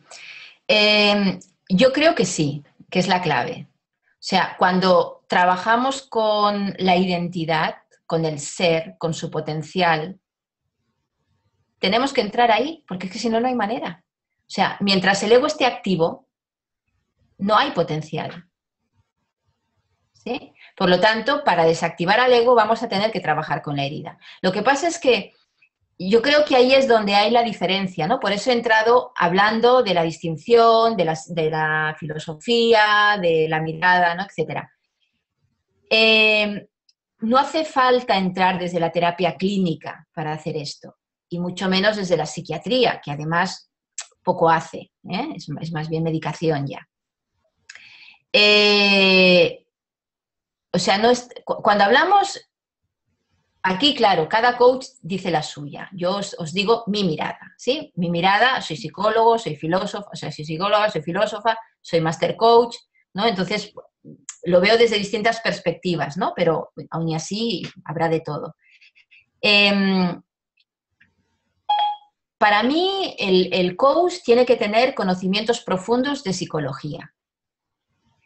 No la carrera de psicólogo necesariamente, igual que de tener ciertos conocimientos de filosofía y ciertos conocimientos de muchas cosas y ciertos conocimientos del ámbito donde va a intervenir, la familia, la empresa, donde sea que intervenga. O sea, no vale solo con la herramienta de coaching y cómo se hacen cuatro preguntas y se pasan cuatro ruedas de valores o no sé qué. Eso es lo de menos, ¿eh? sino que es el propio proceso interno de desarrollo y conocimientos sólidos de la materia prima con la que trabajas, eh, de lo que está ocurriendo allí y de cómo es el cuestionar y de un montón de cosas, ¿no? Eh, ahora bien, la psicología, cuando yo digo, ¿eh? cuando hablamos de psicología, lo colocamos más bien del lado de la psicología clínica, del trastorno, de la psicosis, ¿no? Bueno, al final, como lo que decíamos, todos somos neuróticos, está dentro de la normalidad. Tener ego es ser neurótico. Todos somos psicóticos, no podemos ver la realidad tal cual es. Por lo tanto, todos los coaches estamos trabajando con neuróticos y psicóticos y lo somos nosotros también, ¿sí? Ahora bien, ¿en qué grado? Cuando llega a un nivel de trastorno, o sea, el trastorno en psicología se, cataloga ya dentro de la psicosis profunda, o sea, no de la psicosis ordinaria, que es lo que somos todos, ¿no? Más menos, más menos, ¿eh? exagero, pero con esa dificultad para leer el mundo. Sino que cuando ya entramos en psicosis, hombre, estamos hablando de que no puedes hablar con la persona porque no atiende a la realidad en absoluto, tiene un mundo paralelo, ¿sí? O es autista o es esquizofrénico, ¿no? Diagnosticado, etc. Entonces, ante eso, claro, o tienes conocimientos serios de psicología o no te metas. Por eso cuando hablamos de coaching, hablamos normalmente de que estamos eh, trabajando con personas sanas, dentro de la poca sanidad que tenemos todos, ¿no? Eh, pero eso no excluye el trabajar la herida, porque la herida es el núcleo fundamental. Es decir, cuando hablamos de baja autoestima, cuando hablamos de baja autoconfianza, cuando hablamos de empoderar, es decir, que hay bajo empoderamiento, autoempoderamiento, estamos hablando de la herida. O sea, heridas, hay tres grandes heridas, de autoconfianza, de autoestima y de autoafirmación. Y en el núcleo de lo que vayamos a trabajar encontraremos eso, encontraremos una de ellas. Hasta que eso no lo recoloquemos, el, el, no puede salir de su bucle. Pero es un trabajo que le va a llevar toda la vida, no solamente el trocito que esté con nosotros. Nosotros vamos a acompañarle un trocito de camino para ayudarle a que se ame más a sí mismo, o ayudarle a que confíe más en sí mismo, o ayudarle a que crea más en su poder interior. Eso es trabajar con la herida. ¿Sí? ¿Se ve la idea? Sí. Bien, muy bien. Ok, muchas gracias. Gracias. Eh, seguimos adelante, pues. Otro ejercicio complementario a este sería la sabiduría, ¿sí? O sea, por un lado, donde estamos atrapados, desde el crítico y lo que nos dice para precisamente proteger la herida, y el espacio de sabiduría interior, que es cuando trascendemos. Es decir, el espacio de sabiduría interior es ese espacio donde de repente ya no hay miedo, eh, no hay apego al resultado, se fluye. A veces lo hemos vivido, o el coach lo ha vivido durante segundos, pero está bien, está bien que pueda conectar con eso, ¿no? ¿Cómo es este, este espacio donde estoy bien, donde fluyo, donde no me preocupa lo exterior, donde no estoy pendiente del juicio de otros, de mi propio juicio, proyectado, evidentemente, ¿no? Eh, ¿Y cómo experimento eso? A veces aparece la paz, aparece el fluir, aparece la calma, aparece eh, la felicidad, aparece ¿sí? Muchas, el desapego, em, la armonía, ¿eh? etcétera. Pero también es interesante ver cómo me resisto a ello. Por ejemplo, cuando entro en este espacio, hay una voz que viene y me dice, deberías estar haciendo algo, estás perdiendo el tiempo. Estos son tonterías. Ya está, me fui. Llegó mi ego, mi crítico, que me dice, ¿cómo estás, no? Mi ego activista en este caso, ¿cómo estás aquí perdiendo el tiempo contemplando cuando deberías lavar los platos, ¿no? ¿Y qué puedo hacer para mantenerme conectado a este espacio de sabiduría interior? respirar, meditar, pasear por la montaña, rodearme de no sé qué, mm, dejar de creerme este pensamiento que entró.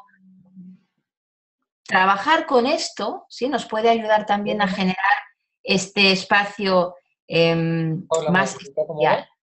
Hola, ¿sí? ¿Cuánto les cobró? Ay, se te oye hablando por teléfono con alguien, me parece.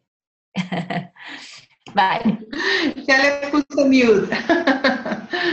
Por lo tanto, lo que estamos haciendo es pasar del miedo a la mar, ¿sí? De este espacio de miedo que dirige el ego. Eh, eh, se, dispara el crítico interior. Eh, estoy pendiente de lo exterior, de los resultados, de mi imagen, esta imagen que tiene que sostener mi ego, a un espacio de amar, a un espacio de aceptación, a un espacio de humildad, a un espacio donde yo me cuido de mí para a partir de ahí cuidar ¿no? a otros o entrar en otra relación con el mundo. Eso es lo que hacemos cuando hablamos de espiritualidad, de sabiduría y pasamos del ego a la esencia. Y esto es cualquier proceso. O sea, lo que decías antes, ¿no? De esto de sanar la herida, de la psicología. O sea, esto se acerca más, estamos hablando de espiritualidad, se acerca más a cualquier viaje eh, eh, místico a cualquier viaje hacia esta esencia, este despertar interior, que a lo que se trabaja en psicología clínica, que es cómo llegar a una normalidad donde el síntoma no moleste y donde uno más o menos pueda estar en paz eh, con lo que tiene que hacer en el día a día. ¿eh? Exagero, porque hay psicólogos de todo, desde el conductista hasta el psicoanalista, hay de todos los colores, ¿no? Eh, pero en cualquier caso, igual que decíamos, ¿no? La psicología transpersonal, el coaching esencial estaría, dentro de la psicología, estaría del lado del, psicoanálisis, no del conductismo. Y, por supuesto, en, cerca o en paralelo o bebe de fuentes espirituales donde se hace todo este camino. Por ejemplo, utilizamos el eneagrama no solamente desde los tipos psicológicos, sino también desde las leyes del eneagrama. Eh, la del 1 que tiene que ver con el círculo, la figura del eneagrama del círculo, que es esta, esta ley del 1 tiene que ver con la esencia, con, la, con el centramiento, con la completitud, con la ley del 3, que es el triángulo, que tiene que ver con incluir esta polaridad, esta, ¿eh? esta dualidad para pasar a la no dualidad, este abrazar la sombra que decíamos, y con la ley del 7, que es esta figura ¿no? de hexagonal, eh, que tiene que ver con el proceso que seguimos para ello, que no es lineal, como pretende ¿no? la modernidad causa-efecto lógica lineal, sino que es un proceso que va y viene, que hay eh, momentos críticos donde la persona se cae, donde se asusta, donde se pierde. Por eso necesita ¿no? de este acompañamiento normalmente para ir pasando por un proceso que es complejo. ¿eh? para eso seguimos un modelo que comparto con vosotros rápidamente, donde empezamos, como decíamos, por el ser del coach. ¿sí? Lo importante es este espacio de sabiduría interior del coach, esta conexión con el ser esencial espiritual, desde la intuición y desde el conocimiento, ¿no? la, subida y la bajada en la, sabiduría, en la sabiduría que hemos visto antes. Por lo tanto, cuando a veces se habla ¿no? de que el coach no ha de saber, no ha de saber, no, ha de saber mucho. Es el solo sé que no sé nada socrático, ¿no? Donde eh, sé, lo suficiente como para saber que no sé. Pero no es desde la ignorancia solamente, porque si no, no sabría ni qué preguntar.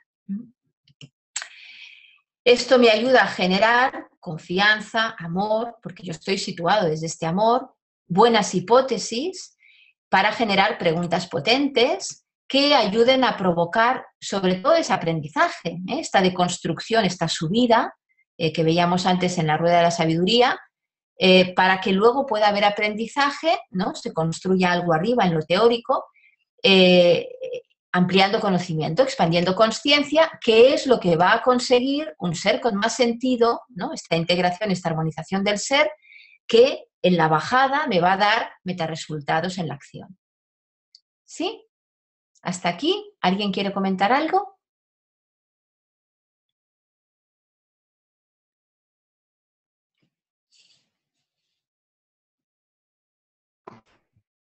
No por el momento.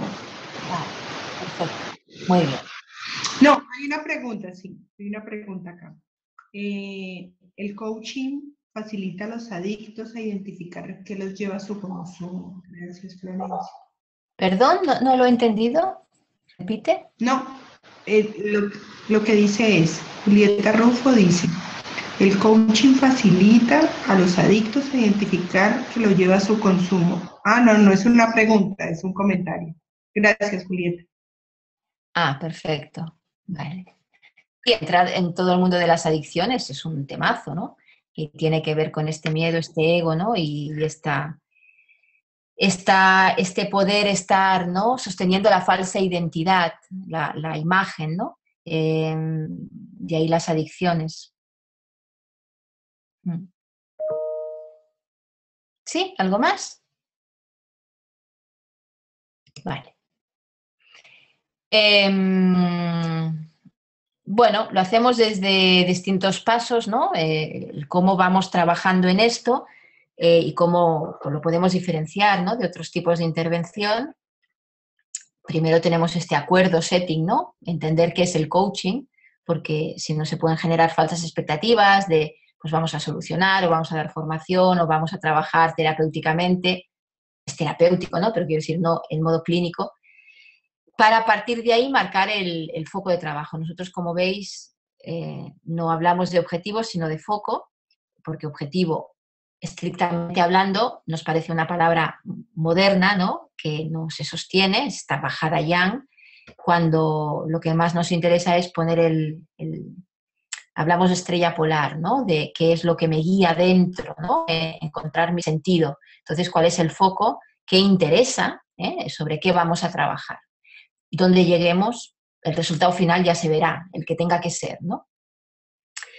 Eh, y ahí nos comprometemos con el coaching, ¿no? En este foco exploramos los relatos significativos, hermenéuticamente, ¿no? ¿Qué, hay ahí? ¿Cómo, ¿Cómo, leemos todo eso? Para eso, por ejemplo, utilizamos el Pardes, que es otra herramienta espiritual, entre comillas, ¿no? Es una herramienta hermenéutica de la Cábala, em, para, y, a partir de ahí generamos hipótesis.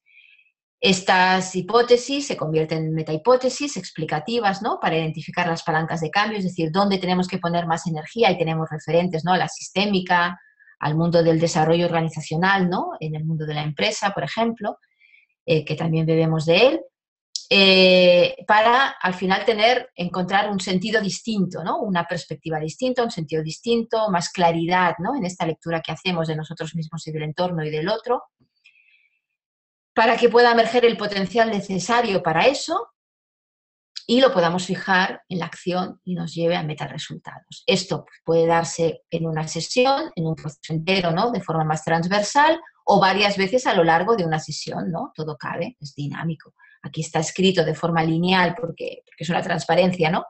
Eh, pero obviamente en la realidad se da de una forma más compleja, ¿no? Siempre es más complejo que, como, que el modelo con el que se explica, ¿no? Y para eso nuestra forma de preguntar tiene que ver con esta mayéutica, coaching puro, ¿no? La mayéutica, que es la, yo diría que lo que más distingue al coaching es que utilizamos como herramienta la mayéutica, socrática. En este dar a luz, el qué, la verdad, pero la verdad como aletheia, como ¿no? otro concepto eh, eh, de los antiguos griegos, ¿no? Aletheia tiene que ver con este desvelar, ¿no? El ir descubriendo, ir sacando capas llegando a la esencia, ¿no? sacando todos estos montajes eh, que nos vamos haciendo y que, nos tienen adormecidos. ¿no? En, todos los caminos espirituales tiene que ver con esto. ¿no? Por lo tanto, es un coaching exotérico, el coaching es exotérico, desvela, descubre, ¿eh? trae a la conciencia a través de la lectura hermenéutica, a través del arte de comprender, ¿no? A través del cómo vamos descifrando, el cómo ayudamos al coach a que entienda eso que no se entendía, ¿no? Eso que está enredado. Eh, por lo tanto, es un camino exegético, es un camino de sacar, ¿no? De leer, no es un camino de colocar, de interpretar, de proyectar. Por eso el coach tiene que estar tan trabajado, eh, es un camino de toda la vida, ¿no? Ya lo sabemos los que estamos aquí, ¿no? La mayoría creo que somos coaches.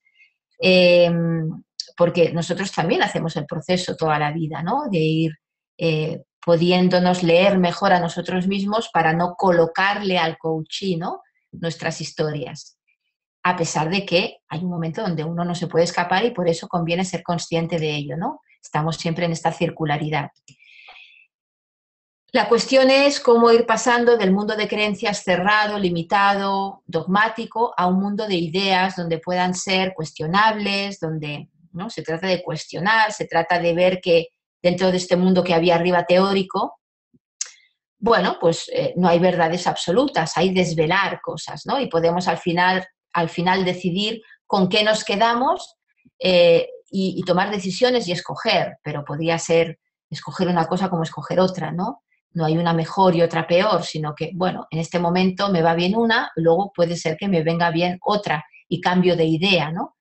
y me resitúo y voy avanzando, evolucionando y voy cogiendo ¿no? distintas miradas, distintas perspectivas, distintos instrumentos de mi orquesta, distintos yoes, distintas personalidades, distintas energías, ¿no? Energía entendiendo como ese compendio de ese eh, pensar, sentir y hacer, ¿no? Son como mini yoes, ¿no? Eh, la posición del coach aquí, ¿cuál es? Pues esta ignorancia sabia este solo sé que no sé nada, desde el amar profundo, desde eh, el no juicio em, y desde 10 metacompetencias que nosotros hablamos, ¿no? de las que hablamos, em, que nos ayudan a estar en esta posición, desde dónde leer eh, ¿no? este relato del coaching, ¿no? esta, esta vida del coaching. En el juego de cuestionar, eh, donde la pregunta marca ¿no? el ámbito de la respuesta, donde ponemos foco ahí, donde enfocamos la linterna, y lo hacemos, como veíamos antes, en tres ámbitos, ¿no? Nos interesa especialmente el de tercer orden, este nivel esencial, eh, desde el que vamos bajando, vamos pasando de lo competencial o del mundo de ¿no? conductas a lo esencial, vamos bajando primero para luego ir subiendo. Es decir, mm, no podemos empezar a tocarlo de arriba si no hemos desmontado algo por abajo, eh, porque si no volverá a hacer más de lo mismo. Entonces hay veces que hay la tentación de correr en esa bajada yang, en esa bajada ¿no? Em, deductiva que decíamos, pero si no hemos tocado primero lo, más profundo, en esa subida intuitiva, em, se nos va a caer la cosa.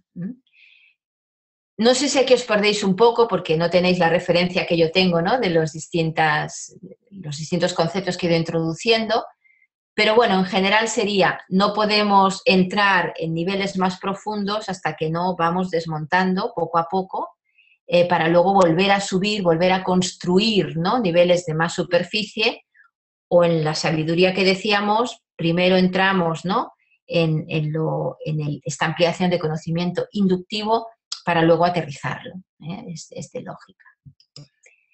Por lo tanto, la función del coach no es engordar al ego, como ya decíamos, sino trascenderlo, porque ahí está el verdadero potencial. Esto es lo que nosotros, en lo que nosotros creemos y en lo que trabajamos constantemente. ¿no?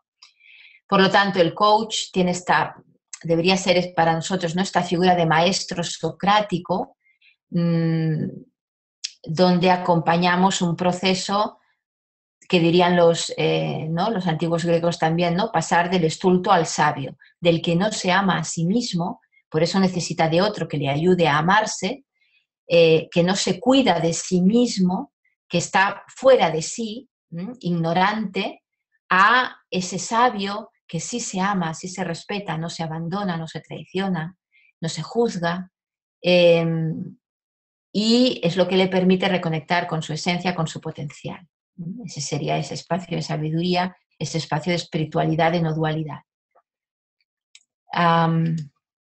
por lo tanto, el coach está desde la ignorancia sabia, desde el amar, desde el silencio interior, desde la humildad, no sabe, no interpreta, no juzga, no resuelve y no es en términos de ego. Claro, este es el punto final maravilloso, mágico, ¿no? Luego cada uno estamos donde estamos, eh, en nuestro momento de proceso, el que sea, ¿no? Y acompañamos a los coaches que están, ¿no? En ese camino, eh, sea el que sea, y podemos acompañar, ¿no? Si nosotros estamos un poquito más allá, porque ya hemos pasado por ahí, ¿no? Las 10 metacompetencias del, del coach para nosotros tienen que ver, por lo tanto, con la autenticidad, con la presencia, con el poder ser plásticos, ¿no? El poder aprender, desaprender, el ser flexible, pero también decir hasta aquí, ¿no? Esto es, hay que mantenerlo y, soy perseverante en eso, ¿no? La nadiedad es un espacio para nosotros clave, ¿no? Ese, ese no sostener la imagen que construimos de nosotros mismos, esta falsa identidad, ¿no? No sostenerla.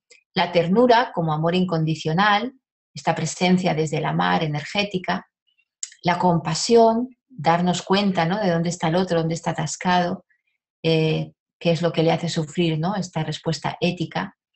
La humildad para aceptar que todos somos humanos y estamos donde estamos. La sabiduría como esa ignorancia sabia que ya decíamos. La espiritualidad, ¿eh? esa no dualidad.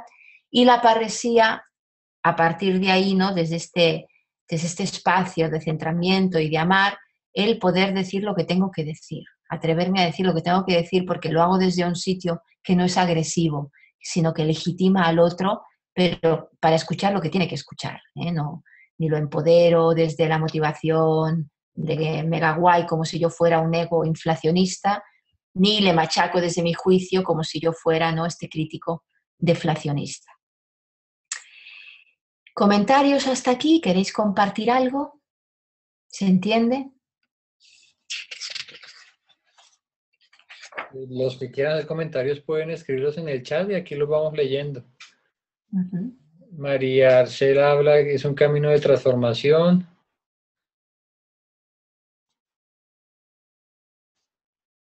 Carlos Pacheco, no sé si esta pregunta ya se te la hicieron, ¿cómo se interpone el lado oscuro entre el ego y la esencia?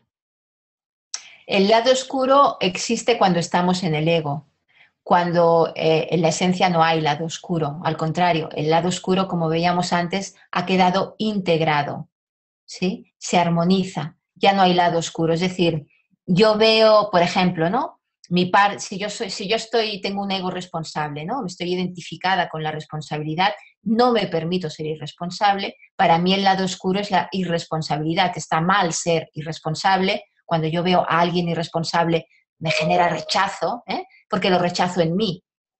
Sin embargo, cuando yo salgo de estas gafas de la responsabilidad como forma de tener éxito, de que me vaya bien, de que me quieran, de sentirme capaz, de lo que sea, según mi herida, eh, cuando yo salgo de estas gafas puedo empezar a ver esta otra energía polar desde su lado de don, ¿sí? Eh, es decir, ¿qué me trae esa irresponsabilidad? En realidad lo que me trae es la posibilidad de disfrutar, de relajarme, de delegar. O sea, no es irresponsabilidad en términos eh, en cómo lo ve mi ego, lado oscuro, ¿no? Sino que es otra energía más, otra posibilidad más de ser que tengo y que me permite cosas, ¿sí? Cuando yo incluyo eso en mí, cuando yo me acepto sin juicio eso, cuando salgo de mis gafas de mi ego que me juzga cuando soy irresponsable, no me quiere irresponsable, cuando yo salgo de eso, lo trasciendo, me doy cuenta de que puedo ser, em, puedo atender, puedo hacerme cargo de, o puedo no hacerme cargo de y estar desde otro sitio. Y yo decido desde mi director de orquesta cuándo utilizar una energía o cuándo utilizar otra. Entre ellas no se van a poner de acuerdo, cada uno ve el mundo como lo ve. ¿sí? Soy yo desde mi director de orquesta que decido, según mi lectura de la partitura, que no es desde mi parte responsable, sino desde otro sitio, cuándo tengo que utilizar una energía o la otra. ¿Sí? Para que las cosas me vayan bien. A veces me hago cargo, a veces delego. A veces me hago cargo, a veces disfruto, suelto, ¿no? Y me convierto en alguien que me dejo cuidar, mm, que dejo que otro se ocupe de las cosas, ¿no? Etcétera, etcétera. ¿Sí? ¿Se ve un poco? Dejo espacio a otros, ¿no? Les, hago, les, dejo crecer desde solo la responsabilidad, por ejemplo, no dejo crecer a otro, ¿no? Me ocuparía yo de. aquí Florencia nos pregunta, te pregunta, ¿tienes algún tip para desactivar o desarmar el ego? todo lo que estamos diciendo. no hay varita mágica, es un proceso, es un camino donde ayudamos al coachee a reconocer a su ego, a reconocer a su crítico, a ver desde dónde trabaja, desde dónde actúa, ¿no? Vamos desde lo que hace, al por qué lo hace, qué creencias que sostiene, cuál es la justificación del ego. O sea, en el mundo de las creencias, de los valores, todavía es ego, para ir bajando a lo esencial. ¿Qué no me permito? ¿Dónde está mi polaridad? ¿Cómo ayudo a integrar mi polaridad? Por ejemplo, el esquema que hemos visto antes me ayuda a ver ¿no? qué es polaridad y, el sentido que tiene integrarla. Pero, por ejemplo, podemos hacer un core quadrant del voice dialogue, ¿no? Es otra herramienta que me ayuda a poder integrar esta polaridad. La propia idea de integración, de armonía, la propia idea de director de orquesta, el que pueda entender dónde está, para qué, cómo, ¿eh? todo esto le va ayudando a tomar conciencia y a ir soltando este mundo, ¿no? Eh, podemos trabajar con enneagrama, eh, podemos trabajar con estas leyes también en enneagrama, podemos trabajar con el focusing para tomar más conciencia de mis sensaciones y, de cómo me las creo o no me las creo, porque a veces, em, o sea, eh, podemos caer en el, en el, otro lado, ¿no? El mundo del New Age, o sea, del mundo racional al mundo del New Age. Entonces, en el mundo del New Age, lo único que vale es el cuerpo, lo único que vale son mis sensaciones eh, o mis emociones. Y es falso también, porque está dentro del pack. O sea, mi parte, como veíamos antes, ¿no? Mi parte racional, mi, ego racional, por ejemplo, si tengo un ego que me identifica con eso, eh, hay una parte de emocionalidad y de corporalidad que está pegada a eso. Entonces, si yo cuando tengo miedo, como se me cierra el estómago porque creo que me van a juzgar, porque no soy suficientemente buena, me creo esa sensación, estoy igualmente atrapada. Pienso lo que pienso, siento lo que siento, vivo lo que vivo desde mi mundo de ego, no me ayuda. ¿eh? Entonces, el poder ir reconociendo también otras partes de mí que están igualmente pegadas a eso, me va ayudando a eh, poderlo ir soltando, ¿no? Poder decir, vale, esto es ego, lo dejo a un lado, ¿no? Y me voy mm, a otros caminos de sabiduría. ¿Sí? Eh, ¿Respondo un poco? Ok, aquí Nancy te pregunta, ¿se disuelve el ego? Se va disolviendo, claro que sí. Se va afinando, se va disolviendo en la medida en que se va sanando la herida.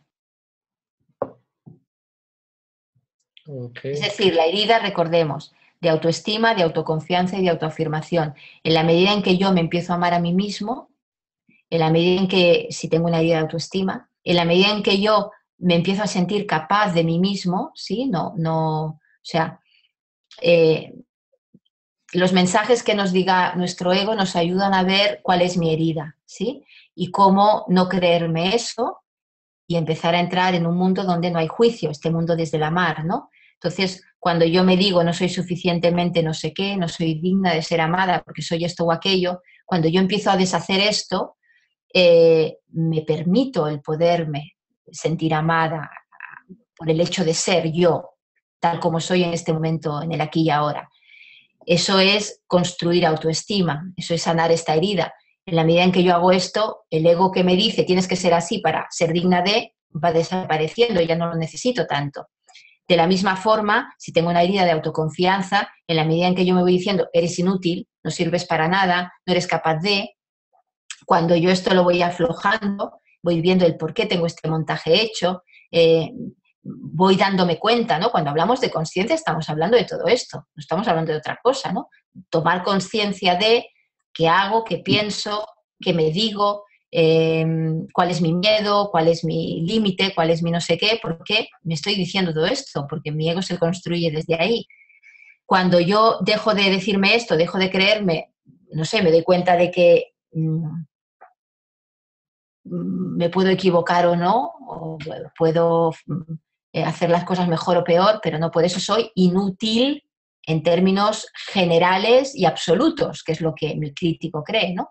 Cuando yo empiezo a relativizar todo eso, me empiezo a reír de mí mismo, empiezo a perderle miedo ¿no? a, al que dirán, etcétera, etcétera, voy construyendo autoconfianza, voy sanando mi herida, mi ego se va aflojando. Y lo mismo en la autoafirmación.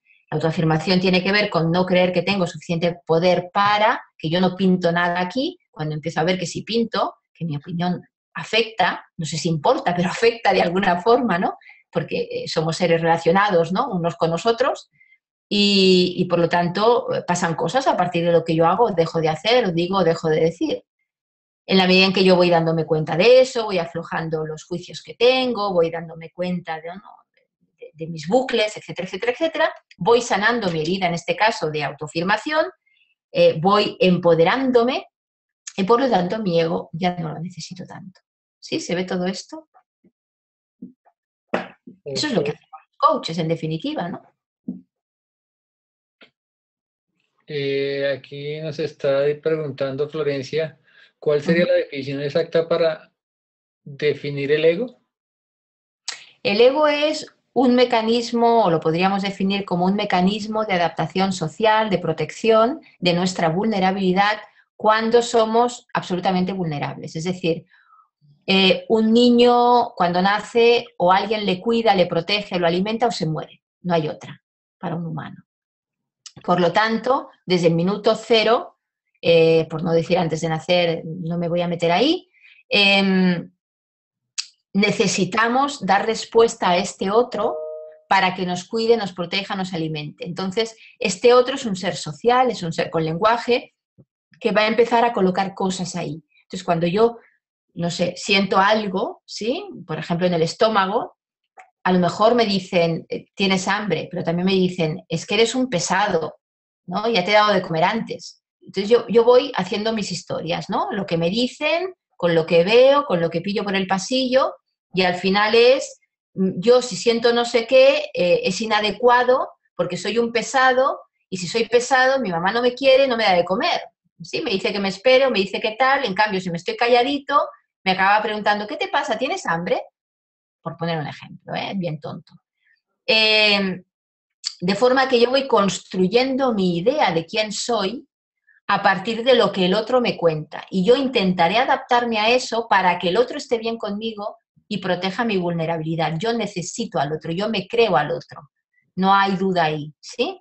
Eh, a los tres años ya tenemos ego y, tiene que ver con estos primeros cuidadores. Luego se va fortaleciendo, construyendo, etcétera, etcétera, para proteger esta herida, porque si no, yo en los momentos en los que no he hecho esto me habré sentido desamparado, solo, mm, em, no digno de, ¿sí? Si, si vamos tomando conciencia de este camino, llegará un momento que nos daremos cuenta de estas cosas, ¿no?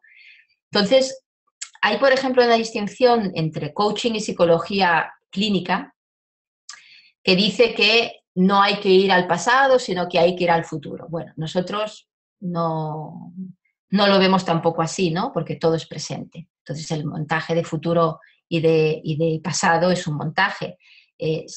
Hoy estoy aquí, me pasa esto y si eh, pienso lo que pienso, siento lo que siento, es porque está presente aquí. Que en un momento dado se construyó en el pasado, sí está bien, no sé, no me interesa, porque me interesa que está aquí operativo.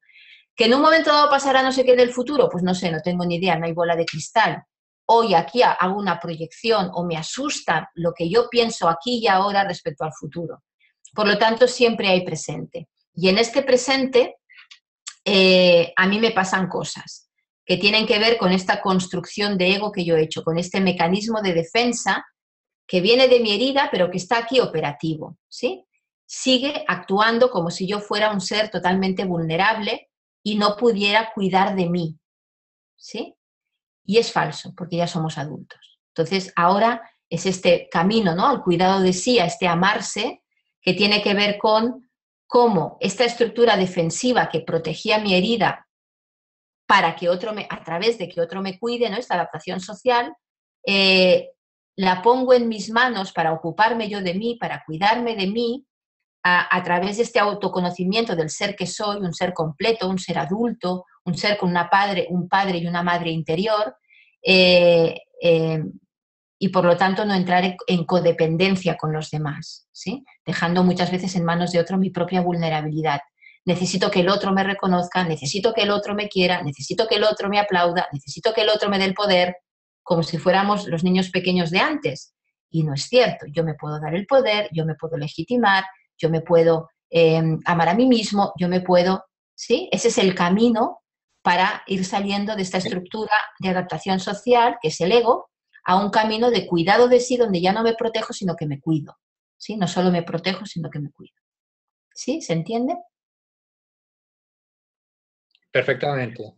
Eh, aquí hay otra pregunta de, de Ramón y el superego. ¿Qué es y su papel en esta técnica?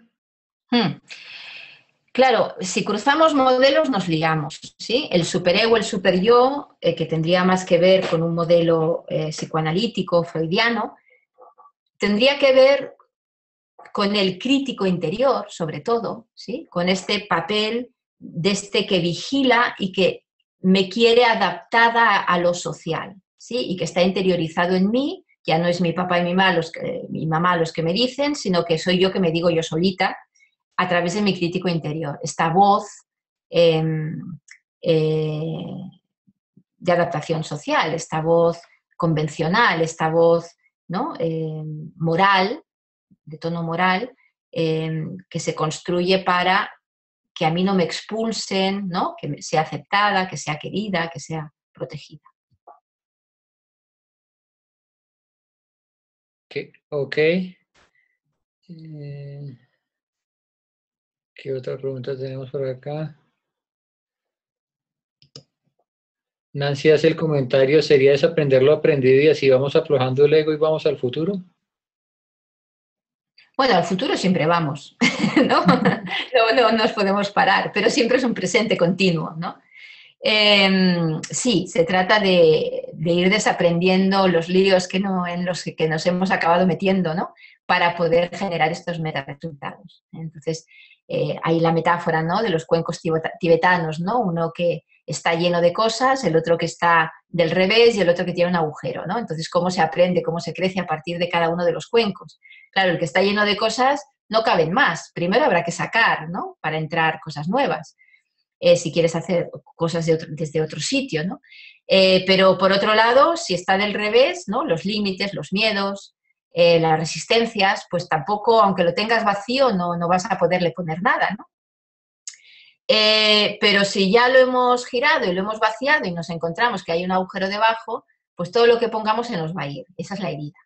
Entonces, lo primero que hay que hacer es tapar la herida, pero no taparla con algo de fuera, que es lo que pretende el ego, esta protección, para que no me la toquen, sino o la sano de verdad, o yo construyo mi propia autoestima, o si dependo constantemente, por ejemplo, ¿no? de la aprobación del otro, cuando no me llegue la aprobación volveré a estar como antes. ¿eh? Entonces no, hay salida, por eso no podemos engordar al, ego, ¿eh? porque es, es, un, eh, como es hambre, pan para hoy y hambre para mañana, ¿no? Que se dice por aquí, no sé si allí suena el refrán. ¿Sí? ¿Se ve? sí, Cris. Aquí hay una pregunta de Natalia. Dice Cristo, ¿escuela está solo en España? ¿Hay alguna posibilidad de estudiarlo virtualmente? Virtualmente hacemos cosas, luego también tenemos partner en Colombia, en Costa Rica, en México estamos empezando un poquito y o en España que es fantástico venir de vacaciones.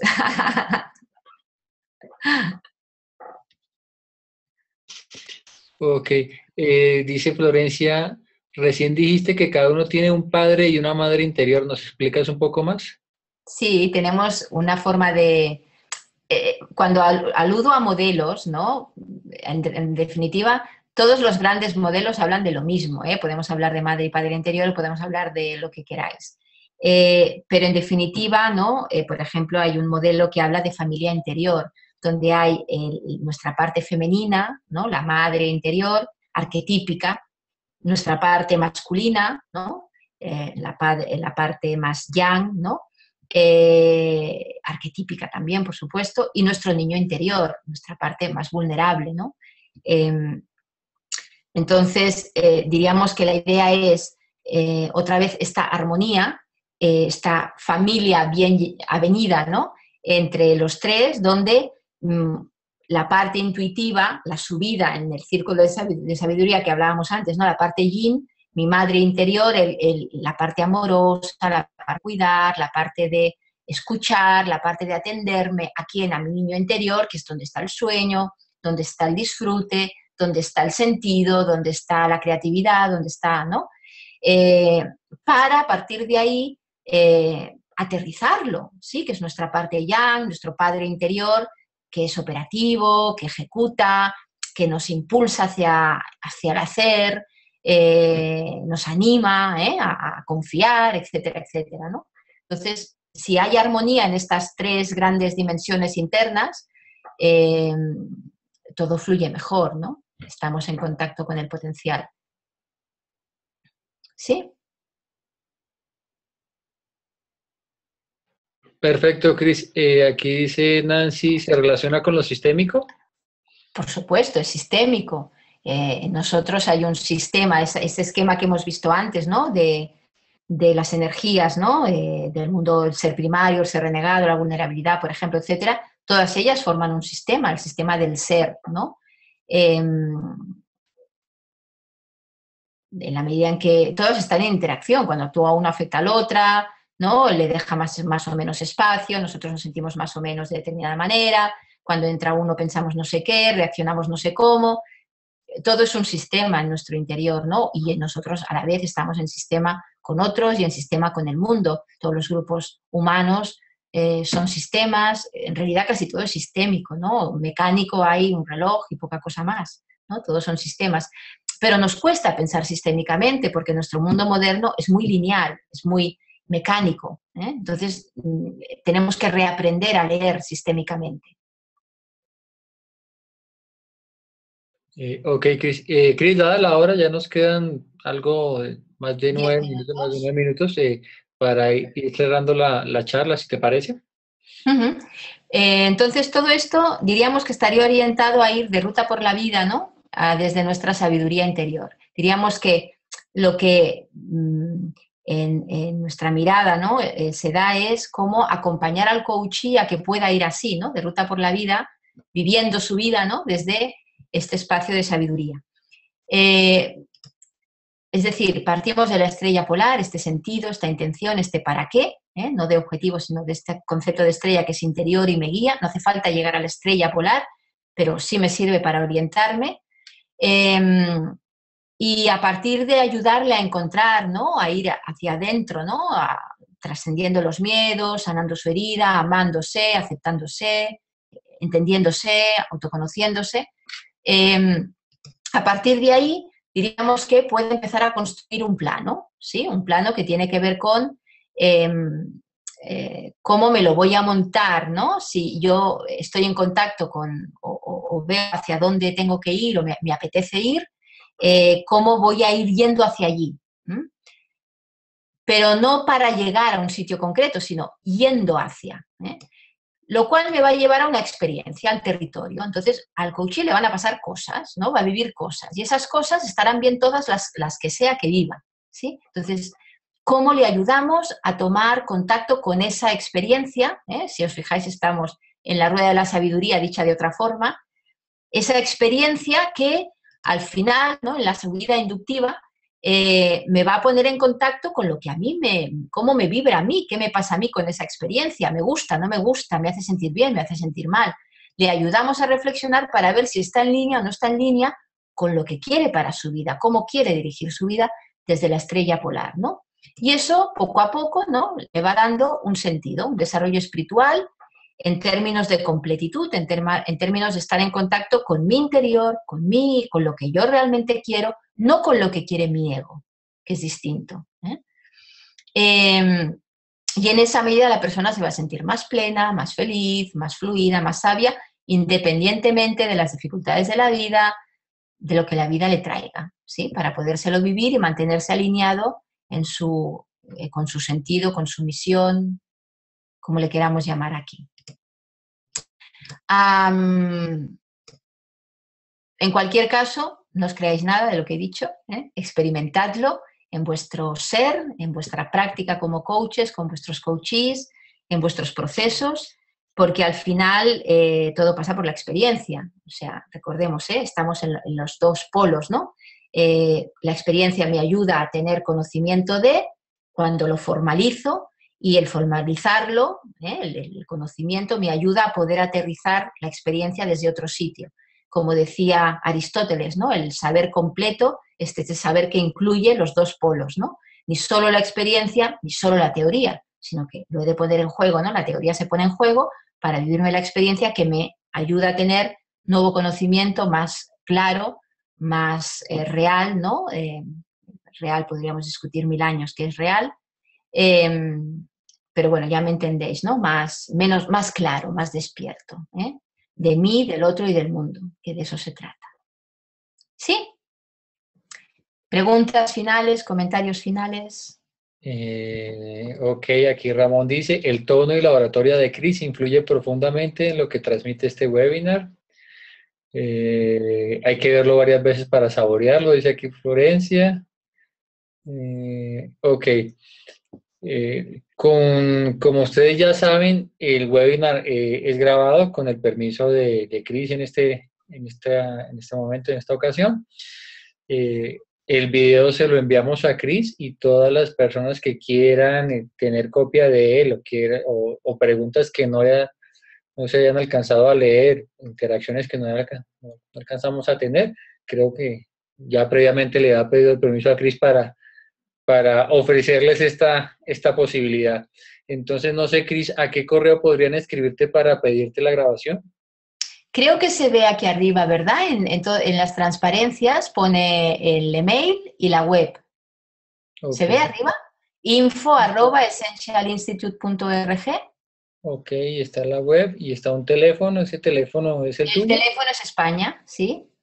Em, eh, y si no, entrando en la web encontráis todo, encontráis el email, encontráis eh, todo eh, Essential con dos S y una T, essentialinstitute.org. Ok, entonces eh, vuelvo y insisto, quienes quieran la, grabación de este extraordinario webinar, coincido con todos los comentarios que están apareciendo, pueden hacerlo a través de, de Cris y es más, quedan en contacto con ella. eh, yo le estaré enviando, bueno, creo que son las 5 de la mañana ya en España, ¿van a ser las 5? Las 4, las 4. Ah, ok, alcanzas a dormir un ratico. Eh, entonces, eh, yo creo que más o menos mañana en la tarde eh, Chris tendrá la, grabación en, en, sus manos y los que quieran, vuelvo y les digo, se comunican directamente con Chris a través del el correo que aparece allí, info arroba eh, hay una web, www.essentialinstitute.org, donde también pueden encontrar los, los correos y los datos de, de Cris. Cris, no me resta sino decirte muchísimas, muchísimas gracias, impresionante. Eh, de una vez te extiendo una nueva invitación para, para un nuevo webinar. Eh, después te mando algunas fechitas a ver si podemos concretar uno antes de diciembre, si estás de acuerdo. Muy bien a todos los que nos acompañan, eh, recordarles, voy aquí a robarte un poquitico la, eh, tu pantalla. Sí, de compartir. Que estamos, eh, ah, mira, aquí tenéis los datos, ya no me acordaba que estaba puesta esta. Ah, ok, las dejo ahí un poco para que puedan tomar los datos de la, de la pantalla. Una foto, esas cosas que ahora tenemos los móviles rápidos, ¿no? En lugar de tomar nota, todo se hace captura pantalla, foto con el móvil. Perfecto. Eh, les decía entonces recordarles dos temas importantes. El primero, eh, estamos en la celebración del primer año de los jueves de coaching. Eh, estamos organizando unas sesiones especiales de coaching que van a ir del 17 al 20 de octubre dos jornadas eh, por día, de 8 a 9, de 8 a, de, perdón, de 9 a, a 11 de la mañana y de 7 a 9. Quienes quieran participar, pues se comunican conmigo y yo les, les, les, indico cómo, cómo vamos a montar eso. La idea es que los que estén en su mayoría en esos, en esos espacios, eh, queremos ayudarles a montar un webinar por primera vez, eh, hay mucha gente que tiene unos contenidos espectaculares, tiene un recorrido impresionante eh, de años en, temas de coaching, otras personas que están empezando, pero eh, empezando han, han desarrollado unas metodologías bastante innovadoras y queremos escucharlos. Queremos abrir la posibilidad para que se conviertan en conferencistas internacionales, que ese conocimiento que están desarrollando pueda llegar a, a, toda Latinoamérica, Hispanoamérica, Hispanoamérica eh, esa es la, la, misión que tiene la ICF y es visualizar el, el coaching. Entre más personas podamos eh, impactar con coaching, pues se nos hace más fácil la vida a todos nosotros. eh, esta profesión se, se, se, vuelve más sólida aquí en, en, este continente y tenemos que apuntarle a eso. Necesitamos mucha gente hablando de coaching y, y especializándose. Eh, y hay que mostrarnos. Entonces, una de las formas más eficientes de, generar visibilidad es esta, son los webinars en los cuales de una manera muy sencilla puedes llegar a muchas, muchas personas. Entonces, la ICF Colombia te apoya con la publicidad, te va a apoyar con la difusión. Si necesitas apoyo en cuanto a la estructuración de tu webinar, te apoyamos también con eso. Simplemente coméntanos qué contenidos estás desarrollando y, y te aportamos y te apoyamos para que eh, tengas visibilidad y tu, tu, tema tenga visibilidad. Otro tema importantísimo también que, quiero comentarles es eh, recordarles nuestro encuentro eh, aquí en Colombia, Bogotá. Está para el 21 y 22 de, de octubre. Toda la información la pueden encontrar aquí en la página de la ICF Colombia. Aquí pueden descargar la agenda de nuestros speakers, podrán ver los horarios, eh, todo lo relacionado con el encuentro. Entonces los invito a visitar nuestra página. Los invito a que participen los que están aquí en Colombia de, de este encuentro. Es eh, organizado con mucho cariño y logramos la participación de personajes de primer nivel eh, a nivel internacional. Entonces, pues nada, la invitación está abierta, no se los pierdan.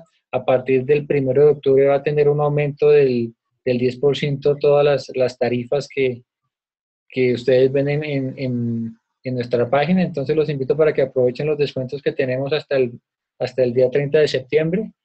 Eh, que interactúen. Aquí están las, las, los perfiles de quienes van a estar. Pueden consultar en internet la calidad de, la, de, de estos personajes de primerísimo nivel. Ignacio Bernabé, no sé si Cris lo conozca, es eh, español. Eh, no sé si será competencia, Cris, eh, excelente, excelente coach, va a estar acompañándonos, hicimos todas las gestiones para traerlo de España para este, para este evento, al igual que a Slomo, a Mauricio Lausada, quien viene desde Brasil, a Fernando Flores, que lo traemos desde, creo que está en Estados Unidos en este momento, eh, a Elena Espinal, a Sonny Grosso. Entonces, pues nada, eh, 21 y 22 de octubre, Toda la información, como les dije, está aquí en, en esta página. Pueden ver la agenda. Están los eh, procedimientos para registro. Estos son los precios que vamos a mantener hasta el 30 de septiembre para los miembros de la ICF Colombia, 390 mil pesos. Para todos aquellos que no son miembros, 700 mil pesos. Estudiantes de coaching, 524 mil pesos. Entonces, hay descuentos para grupo. Entonces, eh, pues nada, Igualmente los que son coaches, que son miembros de la ICF, pueden también eh, inscribirse. Van a haber unos espacios donde pueden ofrecer sus sesiones de coaching, donde podrán hacer eh, eh, eh parte de este programa o de, este, de esta parte de Pro del Coaching. Entonces, la idea, como les he venido diciendo, no es un encuentro de coaches, es un encuentro de coaching. Estamos haciendo un esfuerzo bastante grande para tener en como auditorio eh, enfocarnos hasta lo que son jefes de recursos humanos, CEOs, eh, pymes. Eh, es más un encuentro, esperamos, comercial. Obviamente van a poder obtener y ver lo que se está moviendo en el mundo del coaching a nivel de, herramientas y actualizarse, pero más que eso y más allá es una oportunidad también para, para visibilizarse como coaches. Entonces, es una, un ganar-ganar por, por dos lados. Eh, igualmente recordarles que cada 15 días estamos haciendo un webinar, el Comité de Coordinaciones de Afiliaciones hace un webinar los miércoles cada 15 días. El, el, el, último se hizo el día de ayer, dentro de 15 días lo volvemos a tener y allí se les está dando toda la información de cómo hacerse miembro de la ICF, las diferentes eh, credenciales, acreditaciones, eh, todo lo que hace la ICF. Entonces los invito, es un eh, webinar bastante interesante, los que todavía tienen dudas de qué es la ICF, qué pueden lograr, cómo funcionamos, eh, los invito a que participen de, de este webinar que es eh, bastante práctico, muy dinámico y los, eh, les da una idea clara de, esa, de lo que hace la ICF, por qué lo hacemos y cómo lo hacemos. Eh, con esto quería cerrar. Claudia, no sé si tú tienes eh, algo, algo adicional. Hola Gus, no. agradecerte, Cris. valiosísima la presentación, me gustó mucho y esperamos, como dice Gustavo, tenerte acá más a menudo. Lo otro, y, y qué pena, Cris, una cosita chiquita para cerrar los que son del capítulo de la ICF Colombia. El 21 también vamos a tener una asamblea extraordinaria, ya se vencen los tiempos de los que estamos aquí trabajando.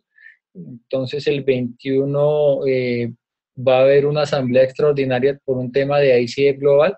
Se necesita hacer ya la selección del presidente y vicepresidente que van a estar por los próximos dos años.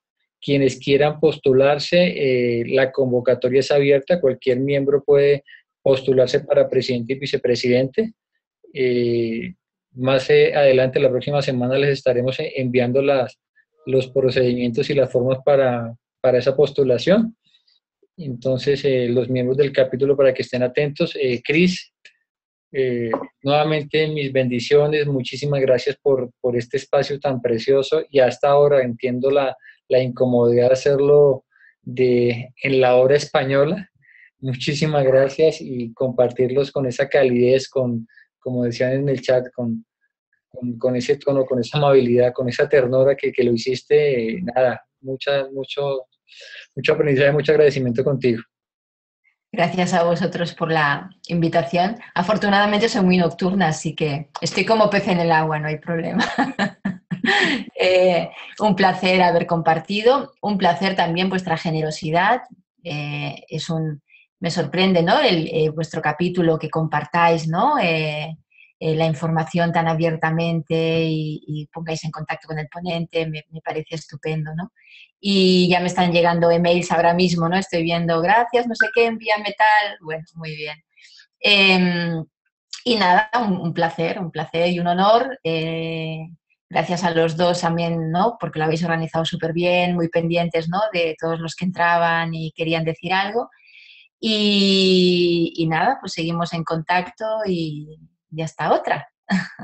Cris, bendiciones. feliz, ¿cómo se dirá? Madrugada, resto de madrugada. Bueno, ahora me voy a dormir yo. Buen desayuno. Muy bien. Gracias. Claudia, bendiciones a todos. Buenas noches, feliz fin de semana. Namaste. Feliz noche, chao. Chao.